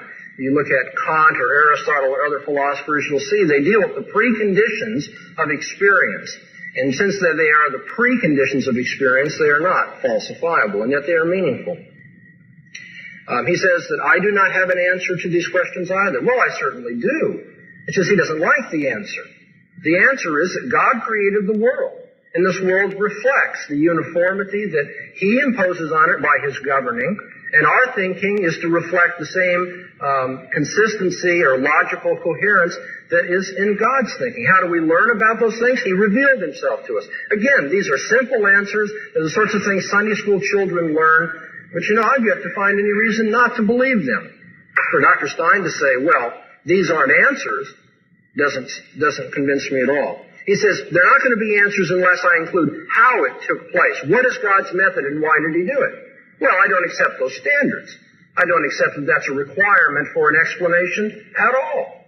And he hasn't given us any good reason except that he's not going to be satisfied or it's unhelpful to him. He says it's a non-meaningful statement to say that the laws of logic reflect the thinking of God. He wants to know things like, can God be irrational? Well, if you had asked those questions in cross-examination, I'd answer them. No, God cannot be irrational. Rationality is measured by the standard of His thinking and His revelation. The atheist worldview cannot account for the laws of logic, cannot account for any universal or abstract entities for that matter, cannot account for the uniformity of nature, and therefore cannot account for the uh, successes of science. Nor can the atheist universe uh, give us um, universal and absolute laws of morality. And so on three of the most important issues philosophically that men must face, logic, science, and morality, the atheist universe is completely at odds with those things. Well, we have one minute left here. I want to answer very quickly those few things that Dr. Stein brought up in his second presentation so that I might rebut them. He wants to know about the problem of evil. My answer to the problem of evil is this. There is no problem of evil in an atheist universe because there is no evil in an atheist universe. Since there is no God, there's no absolute moral standard, and nothing is wrong. The torture of little children is not wrong in an atheist universe. It may be painful, but it is not wrong. It is morally wrong in a theistic universe, and therefore there is a problem of evil, or perhaps a psychological or emotional sort. But philosophically, the answer to the problem of evil is you don't have an absolute standard of good by which to measure evil in an atheist universe. You only have that in a theistic universe, and therefore the very posing of the problem presupposes my worldview rather than his own. God has a good reason for the evil that he plans or allows. Thank you, Dr. Bahnsen. We have now concluded segment number two of this evening's debate, and we will move very quickly into segment number three, which is closing statements. Dr. Stein has the first closing statement, which will be of a 10-minute duration. Dr. Bahnsen, in his last response, and indeed throughout his entire talk, has made a number of claims about what's possible in an atheist universe and what is not possible in an atheist universe. All I can say is that he has a very strange conception of an atheist universe and perhaps of the universe in general. First of all, evil in an atheist universe. Yes, indeed, there can be evil in an atheist universe. Evil is, by definition, in an atheist universe, that which decreases the happiness of people, the most unhappiness of people. In other words, if we have two things that, if we want to make a comparative evil statement, which is more evil than another, the one, the thing is more evil, which causes more people to be unhappy. Now, how do we know this? Well, we don't know it. It's a consensus, just like morality in general is a consensus. It's a consensus reinforced by the teachings of society through its parents to children, teachers to students, the media, literature, the Bible. All of these things reinforce morality through teaching and the socialization process. And also we pass laws to punish people that violate some of the more blatant cases that we have said are no-nos. So the idea that there's no evil in an atheist universe is utter hogwash. But our evil is at least a rational determinant thing. We don't say, well, did God make this evil? And then we have to go flipping through the Bible to see if it was covered at all. You know, there's a hundred volumes of commentary, at least a hundred volumes more, called the Talmud, which is the, the Jews' interpretation of all the places that the Old Testament didn't give them any guidance on for ethical and moral issues. So, I mean, these things are not clearly spelled out in the Bible. We have no guidance on a lot of things as to what's evil. Is, is a ovum transplant evil? I mean, you don't find that in your Bible. You've got to go and look at the issues, and you do an analysis just the way any rational philosopher would do it, or an ethical, an eth, what do you call it? Person, an ethicist. Couldn't think of the word. Um, so, I mean, we have standards by which we determine evil, and good. And in an in a atheistic world, the atheistic world view, I think I've demonstrated that the regularity of matter, which is an inherent property of matter, explains the law, that the way we are able to make laws which are generalizations in the field of science. And to say that, first of all, most, many, many scientists are atheists. It's been shown by studies over and over again. So to claim, as Professor uh, Dr. Bahnsen claims to claim, that science doesn't give us an atheistic worldview that is in conformity with, I mean, that science is not in conformity with an atheistic worldview is utter nonsense. Science is in itself atheistic. It doesn't use God to explain things, and it understands that matter behaves in a regular and therefore predictable way. And that is the way in which scientific research is done. The same with logic. Logic is a consensus. I think it has a mathematical and linguistic basis. It has some conformity to to uh, the reality of the world. I don't know how many times we have to repeat that for it to get through to Dr. Bahnsen, but it doesn't seem to be. And he seems to specialize in what we call the thinking makes it so school of logic, if we want to call it that. Because he says something is so, because he knows what God's thinking was, therefore it is so. The omniscient Dr. Bahnsen has answered. Well, that doesn't answer anything if we're going to apply the tests of reason to what he says his statements are not only ir- irrational, they are unreasonable. The idea that the future is going to be like the past, it's a statistical probability statement. We have never seen a future, today's future, today is the future from yesterday. And yesterday, what, what is happening today was the future. And we have not seen anything in that time period that we have observed, which is several hundred years, to show that the, that the regularity of, the, of matter and its behavior is going to change. If it changes, scientific experiments will go haywire and we'll know it right off the bat. And then we'll have to revise a lot of things. I think the chances of that happening are pretty small.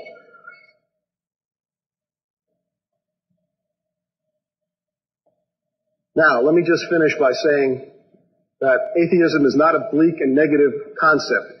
It frees man, it sweeps away the theological debris that has prevented man from taking action to correct the problems of this world.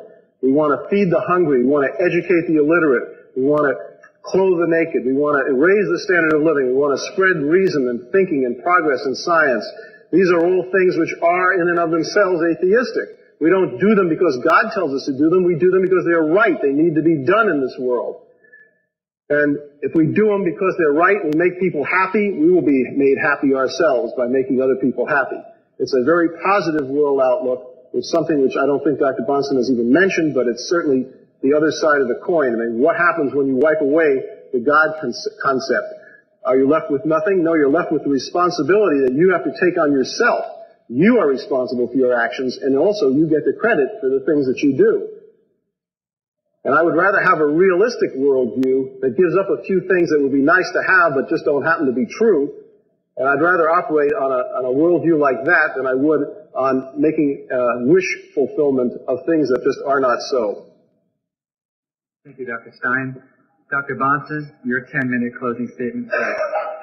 I want to begin my closing statement by uh, thanking the debate team for inviting both Dr. Stein and myself here for this uh, interesting evening and interchange, and thank you all for giving up an evening to discuss what I consider a very important question. And I thank Dr. Stein for coming and for his graciousness toward me. Um, as far as my rebuttal, or excuse me, my closing statement, I need to deal, I think, first of all, or perhaps in the entire time, uh, analyzing this remark that my statements have been tonight irrational. Well, perhaps they have. But you see, saying so doesn't make it so. That's something we just heard as well. And so if my statements have been irrational, then we are going to need some standards of reasoning by which these statements have been shown to be irrational. Um, Dr. Stein has yet to explain to us in even the broadest, simplest Sunday school child manner that I told you about laws of logic, uh, laws of science, and laws of morality. He hasn't even begun to scratch the surface to tell us how in his worldview there can be laws of any sort. And if there can't be laws or standards in his worldview, then he can't worry about my irrationality, my alleged irrationality. The transcendental argument for the existence of God has not been answered by Dr. Stein. It's been debated, it's uh, been made fun of, but it hasn't been answered. And that's what we're here for rational interchange. The transcendental argument says the proof of the Christian God is that without Him you can't prove anything. Notice, the argument does not say that atheists don't prove things. The argument doesn't say that atheists don't use logic, science, or laws of morality. In fact, they do. The argument is that their worldview cannot account for what they are doing. Their worldview is not consistent with what they are doing. In their worldview, there are no laws. There are no abstract entities. There are no universal things. There are no prescriptions. There's just the material universe, naturalistically explained in the way things happen to be. That's not law-like or universal, and therefore their worldview doesn't account for logic, science, or morality. But atheists, of course, use logic, science, and morality. And in so doing, atheists give continual evidence of the fact that in their heart of hearts they aren't atheists. In their heart of hearts, they know the God I'm talking about. This God made them. This God reveals himself continually to them through the natural order, through, the, through their conscience, and through the very, uh, their very use of reason. They know this God, and they suppress the truth about him. One of the ways we see that they suppress the truth about him is because they do continue to use laws of logic, science, and morality, though their worldview cannot account for them. Dr. Stein has said the laws of logic are merely conventional. If so, then on convention, he wins tonight's debate. On convention, I win tonight's debate. And if you're satisfied with that, you didn't need to come in the first place. You expected the laws of logic to be applied as universal standards of rationality. Rationality is not possible in a universe that just consigns them to convention. Dr. Stein said the laws of science are law-like because of the inherent character of matter. But Dr. Stein doesn't know the inherent character of matter. Now, if he were God, he might reveal that to us, as I think God has revealed certain things to us about the operation of the universe. But he's not God. He doesn't even believe there is a God. Since he hasn't experienced all the instances of matter and all of the electron um, reactions, all the other things that scientists look at, since he hasn't experienced all of those, he doesn't know that those things are universal. He doesn't know that the future is going to be like the past. When he says, well, it always has been in the past, and boy, if it changes tomorrow, won't that make the front pages? That's not an answer. You see, we're asking, what justifies your proceeding on the expectation that the future is like the past? To say, well, it's always been that way in the past, it's just to beg the question. We want to know on what basis your worldview allows for the uniformity of nature and laws of science. Thirdly, we've spoken of laws of morality tonight. He says they have laws of morality. The utilitarian standard of what brings the greatest happiness to the greatest number. Well, that doesn't justify utilitarianism to announce it. He's announced that as his standard. But why in an atheist universe should we live by that standard?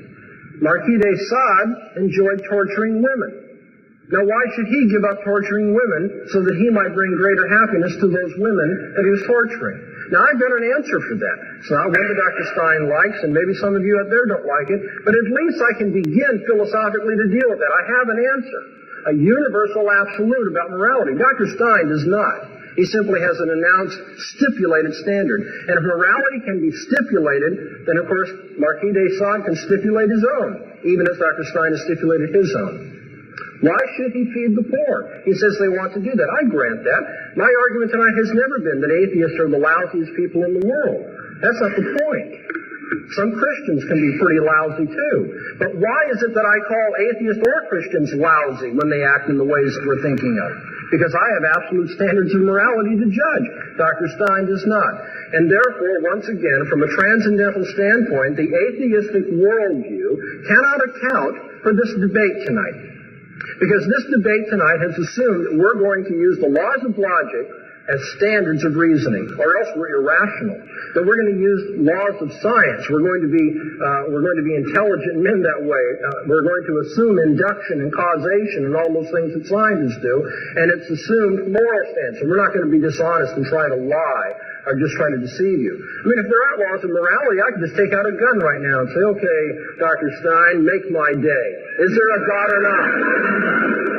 You see, if he argues, oh no, you can't murder me because there are laws of morality, then of course he's made my day because I win the debate. That shows that the atheist universe is not correct.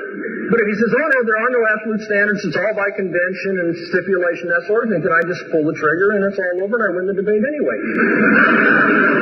Would you expect me to win the debate in that fashion? Absolutely not. You came here expecting rational interchange. I don't think we've heard much from Dr. Stein. I've asked him repeatedly, it's very simple, I don't want a lot of details, just begin to scratch the surface.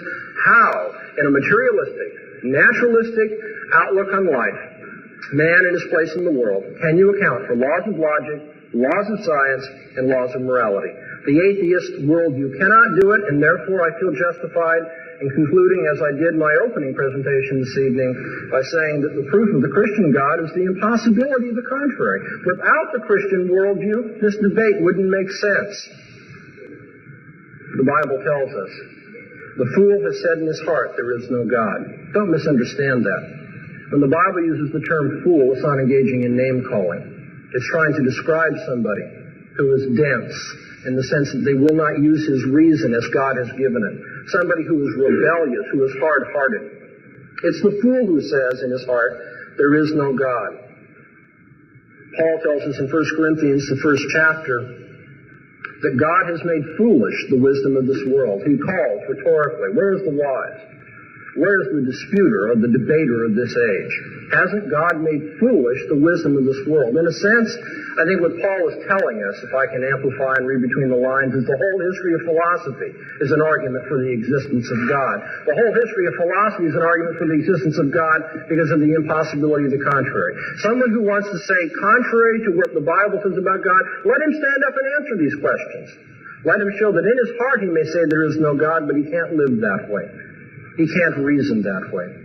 In Romans, the first chapter, Paul says God is making himself known continually to all men and persuasively, so that men do not have an excuse for the rejection of the existence of the Christian God.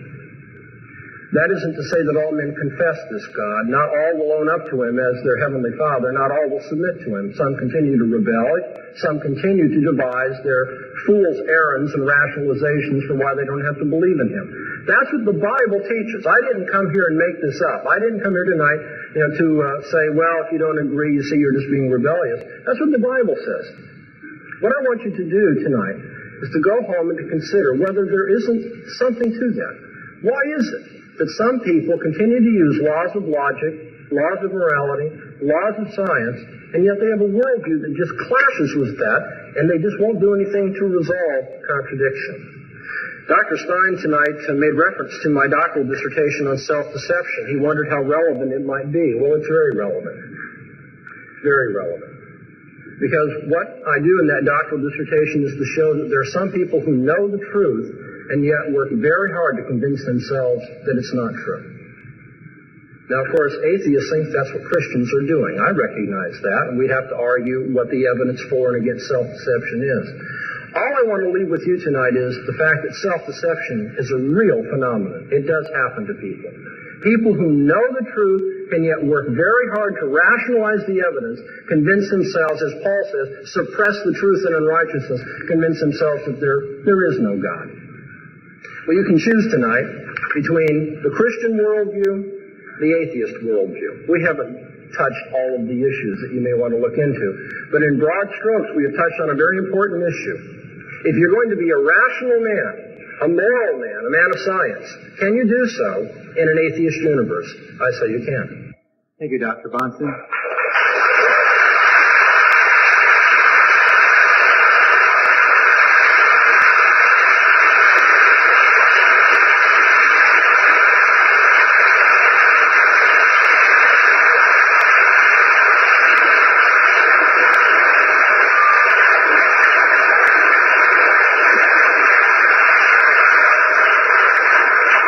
See the conversion has already begun. Not a religious conversion, but the conversion to answer questions. What we're going to do now is I'm going to reiterate what I stated at the beginning. You have a sheet of paper included in your evening program. If you have a question for either Dr. Bahnsen or Dr. Stein, I would ask that you would take that paper out, write your question quickly. They're being rapidly collected by speech and debate team members. Obviously, we cannot answer every single question that's going to be posed here this evening. They will be sorted through by our question panelists that we have here this evening. They will be read by me at the podium. The person to whom the question is directed will have an opportunity to respond for two minutes. His opponent will have an opportunity to respond for one minute. The first question, in, deal, in keeping with our format this evening, will be directed to Dr. Greg Bahnsen. Dr. Bahnsen, the question reads, what solid, what solid evidence do you have to maintain that the Christian faith is the only true religion with a God? There are religions far older and more or just as widespread which millions of people consider valid. Once again, what solid evidence do you have to maintain that the Christian faith is the only true religion with a God?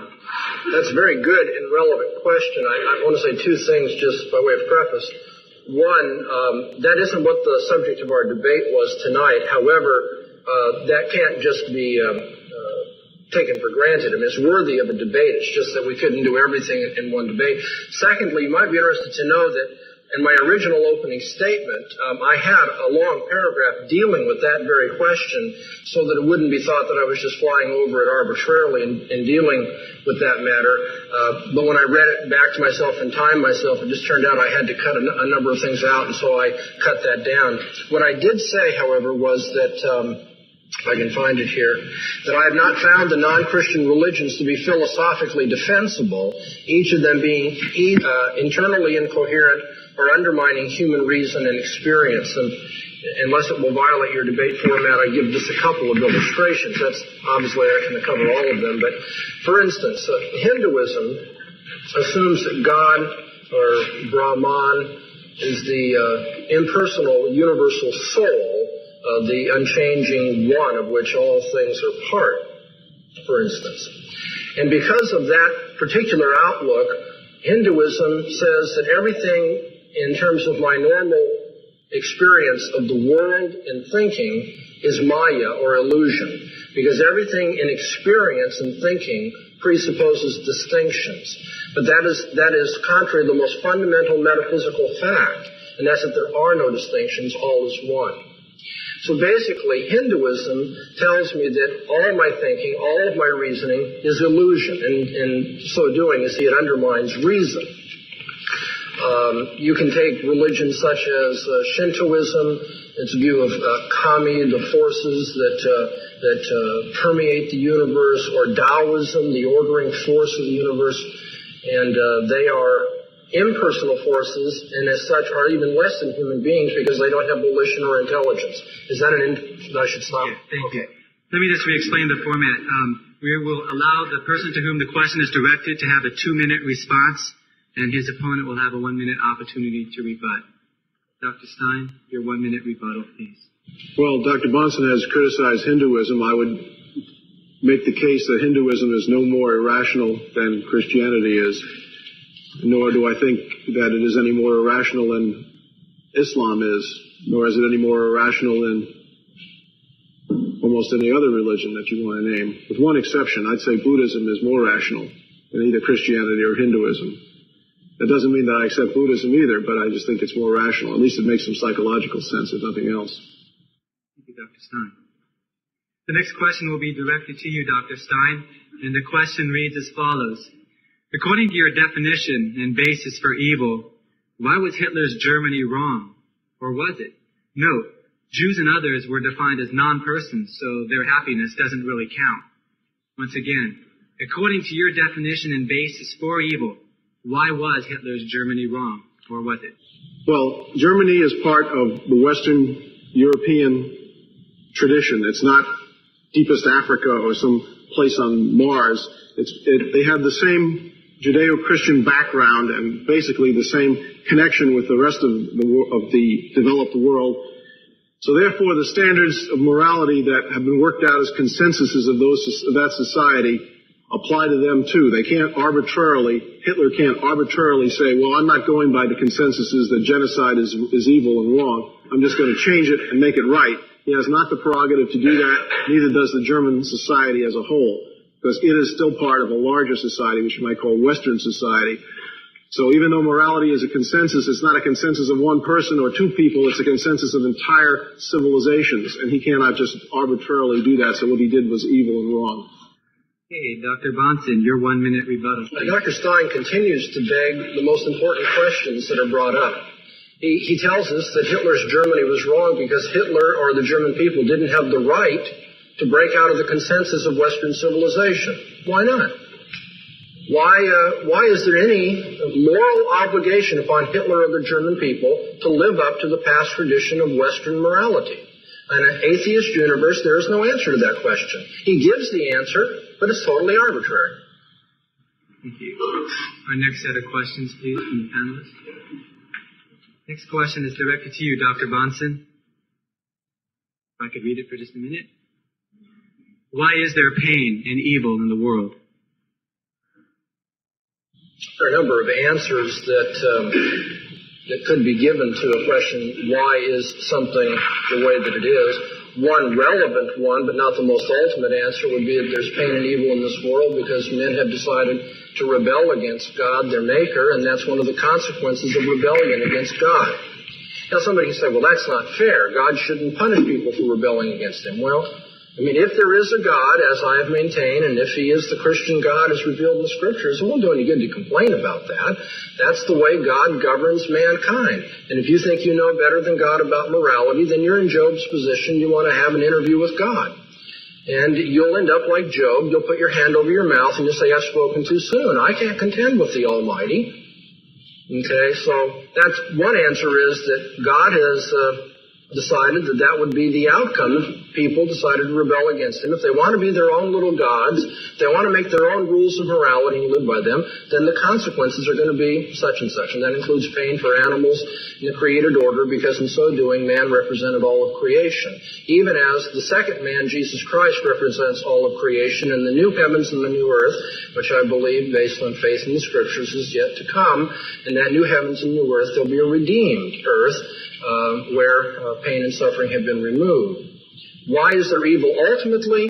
The answer is obviously because God has planned it. I believe that He governs everything that's in history. Does that mean that he caused it? No, I don't believe he compelled Adam to fall into sin. Dr. Stein, your one minute rebuttal. well, Dr. Bahnsen has given us another one of his famous non-answers. Basically, what he said is anything God does is what he does. It's a tautology. It doesn't say anything. Now, how can someone rebel against an omnipotent God? This is a, logical self-contradiction. If God is omnipotent, he has the power to prevent man from rebelling against him. And assuming he doesn't like rebellion, which I think Dr. Bahnsen would concede, uh, because man is, is, evidently going to be punished for this in some way, uh, for his rebellion, eventually the day of judgment. Uh, if God had the power to, to prevent him from rebelling, then he ought to prevent him from rebelling. And just to say that God does what he does is not to give us an answer at all. Next question is directed to you, Dr. Stein. It reads, If you haven't examined all the evidence, then is it not true that you are really an agnostic? Isn't it true that you're open to the fact that God may exist? If you haven't examined all the evidence, then isn't it true that you are an agnostic? Well, agnostic is a word that's very badly used. Uh, Thomas Huxley, who invented the word, used it in an entirely different way from the way we use it today. And in fact, the way we use it today is entirely different from the way Herbert Spencer used it. Uh, I would define an agnostic as a subtype of atheist. An atheist is someone who does not believe in a God. A theist is someone who does believe in a God. There's no middle ground. You can either do or you don't. Now, an agnostic does not believe in a God either because of one of two things. Either he thinks it's impossible ever to know whether there is one or not. That's the Spencerian, Herbert Spencer type agnostic that thinks there are unknowables. Or secondly, because he or she has never examined the evidence that exists and therefore has not made up his or her mind, but still, at that this point, he does not believe in a God. Now, if he examined the evidence and found it convincing, then he would move into the theist camp. So no, I am not an agnostic because I do think that these answers, these questions are solvable, that not maybe we don't know the answer now, but I think we can eventually know the answer. So I'm not a Spencerian agnostic, and I have examined the thing, so I'm not a, the other kind of agnostic, whatever that kind is called. It doesn't have a name for it. Um, Dr. Bahnsen, your one minute rebuttal, please. Uh, it's interesting that uh, the word agnostic is being used as a subclass of atheists. I would agree with that, but for reasons different than have been suggested. It's also interesting that uh, atheist is being redefined. Earlier in the debate, Dr. Stein said an atheist is one who finds the theistic proofs inadequate. I said no, traditionally an atheist is one that denies the existence of God or doesn't believe in the existence of God. Now he's using the traditional definition to answer the question. Um, one more interesting comment about that, and we'll let it go. He says, uh, there are, we do believe there are answers to these problems. We have yet to find them. You see, that's the problem. Atheists live by faith.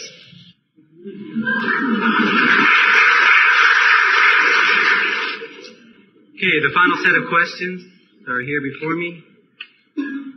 Dr. Bahnsen, question for you reads, why is it necessary for the abstract universal laws to be um, decided from the transcendental nature of God or derived from the transcendental nature of God. Why not assume the transcendental nature of logic? Let me read that again. Why is it necessary for the abstract universal laws to be derived from the transcendent nature of God? Why not assume the transcendental nature of logic? Somebody who wrote the question uh, is good in that uh, you've studied some of these philosophical issues. The answer may not be meaningful to everybody in the audience, but very briefly, is that I do believe in the transcendental nature, the laws of logic. However, the laws of logic do not justify themselves just because they're transcendental. That is a precondition of intelligibility. I mean, why isn't it just sound and fury signifying nothing? That's a possibility too. Uh, so the laws of logic do have a transcendental necessity about them, but it seems to me you need to have a worldview in which the laws of logic are meaningful, especially when you consider such possible antinomies as the laws of logic being universal, categorizing things in that way, and yet we have novelties in our experience. I mean, the world of uh, empirical observation isn't um, uh, set rigidly by uniformity and by uh, uh sameness, as it were. There isn't a continuity in experience in that way, as there is a necessary continuity in the laws of logic. How can the laws of logic then be utilized uh, when it comes to matters of personal experience of the world? We have a contingent changing world and unchanging invariant laws of logic. How can these two be brought together? You need a worldview in which that transcendental necessity of logic uh, can be made sense of in terms of my human experience. And um, I believe Christianity provides that, and I just can't find any other one that uh, that competes with it that way. And Dr. Stein, your one minute rebuttal. I do not have a rebuttal to that particular answer. I do have a rebuttal to the last one, uh, to his last rebuttal, if I may make that very briefly. Okay, well, can you keep your limits to the questions that are before us? Okay. The final Uh, question. May I ask, David, is this my last response? Have I given that? No, we have one more question for Dr. Stein. I'm sorry. Is, if the same rule will be applied so that I can respond, then I'd be Certainly. happy to. I thought we were ending the debate. Certainly. Go ahead. Um, Dr. Bahnsen's comment that atheists believe things on faith is a false statement. Uh, faith, we have confidence based on experience, confidence that things happened in a certain way, that we have learned a lot of things about the world, and therefore we will continue to learn a lot more about the world. Things that we do not know now, we will eventually have answers to. That's not faith, that's confidence based on experience. So I think he's misusing the word faith. All. Okay. Dr. Stein, the final question is directed to you. It reads, You have said that there has been no adequate evidence put forth for God's existence. What for you personally would constitute adequate evidence for God's existence? Well, it's very simple. There would be two, I can give you two examples. If that podium suddenly rose into the air, five feet, stayed there for a minute, and then dropped right down again, I would say that that was evidence of the supernatural because it would violate everything we knew about the laws of physics and chemistry, assuming that there wasn't a, an engine under there or a wire attached to it. I mean, it could make those obvious exclusions. That would be evidence for a supernatural violation of the laws. It might be a, call it a miracle right in front of your eyes. That would be evidence I would accept. Any kind of a, of a supernatural being putting in an appearance and doing miracles that could not be stage magic would also be evidence that I would accept. Those are the two simplest ways. I can also, I would also accept any evidence that's logically non-contradictory, and I have not heard any yet tonight. That hasn't been offered already. Hey, Dr. Bahnsen, your one minute rebuttal, please. Yes, Dr. Stein, I think, um, is really not uh, reflecting on the true nature of atheism and human nature when he says all it would take is a miracle in my very presence to believe in God. Uh, history is replete with, first of all, things which would be apparently miracles to people. Now, from an atheistic or naturalistic standpoint, I will grant, in terms of the hypothesis, that that's because they were ignorant of all the causal factors, and so it appeared to be miraculous. You see, that didn't make everybody into a, a theist. In fact, the scripture tells us there are instances of people who witnessed miracles who all the more hardened their heart and eventually crucified the Lord of glory. They saw his miracles. That didn't change their mind. People are not made theist by miracles. People must change their worldview. Their hearts must be changed. They need to be converted. That's what it takes. And that's what it would take for Dr. Stein to finally believe in it. If this podium rose up five feet off the ground and stayed there, Dr. Stein would eventually have, in the future, some naturalistic explanation. Because, you see, they believe things on faith, by which I mean they believe things they have not proven as yet by their senses. Thank you, Dr. Bahnsen. I'd like to thank the many people who made tonight possible before we dismiss. I'd like to thank Brian Moffitt and the Associated Students of the University of California at Irvine for their assistance. I'd like to thank the speech and debate team members, and I'd like to thank the speakers, Dr. Greg Bahnsen, Dr. Gordon Stein.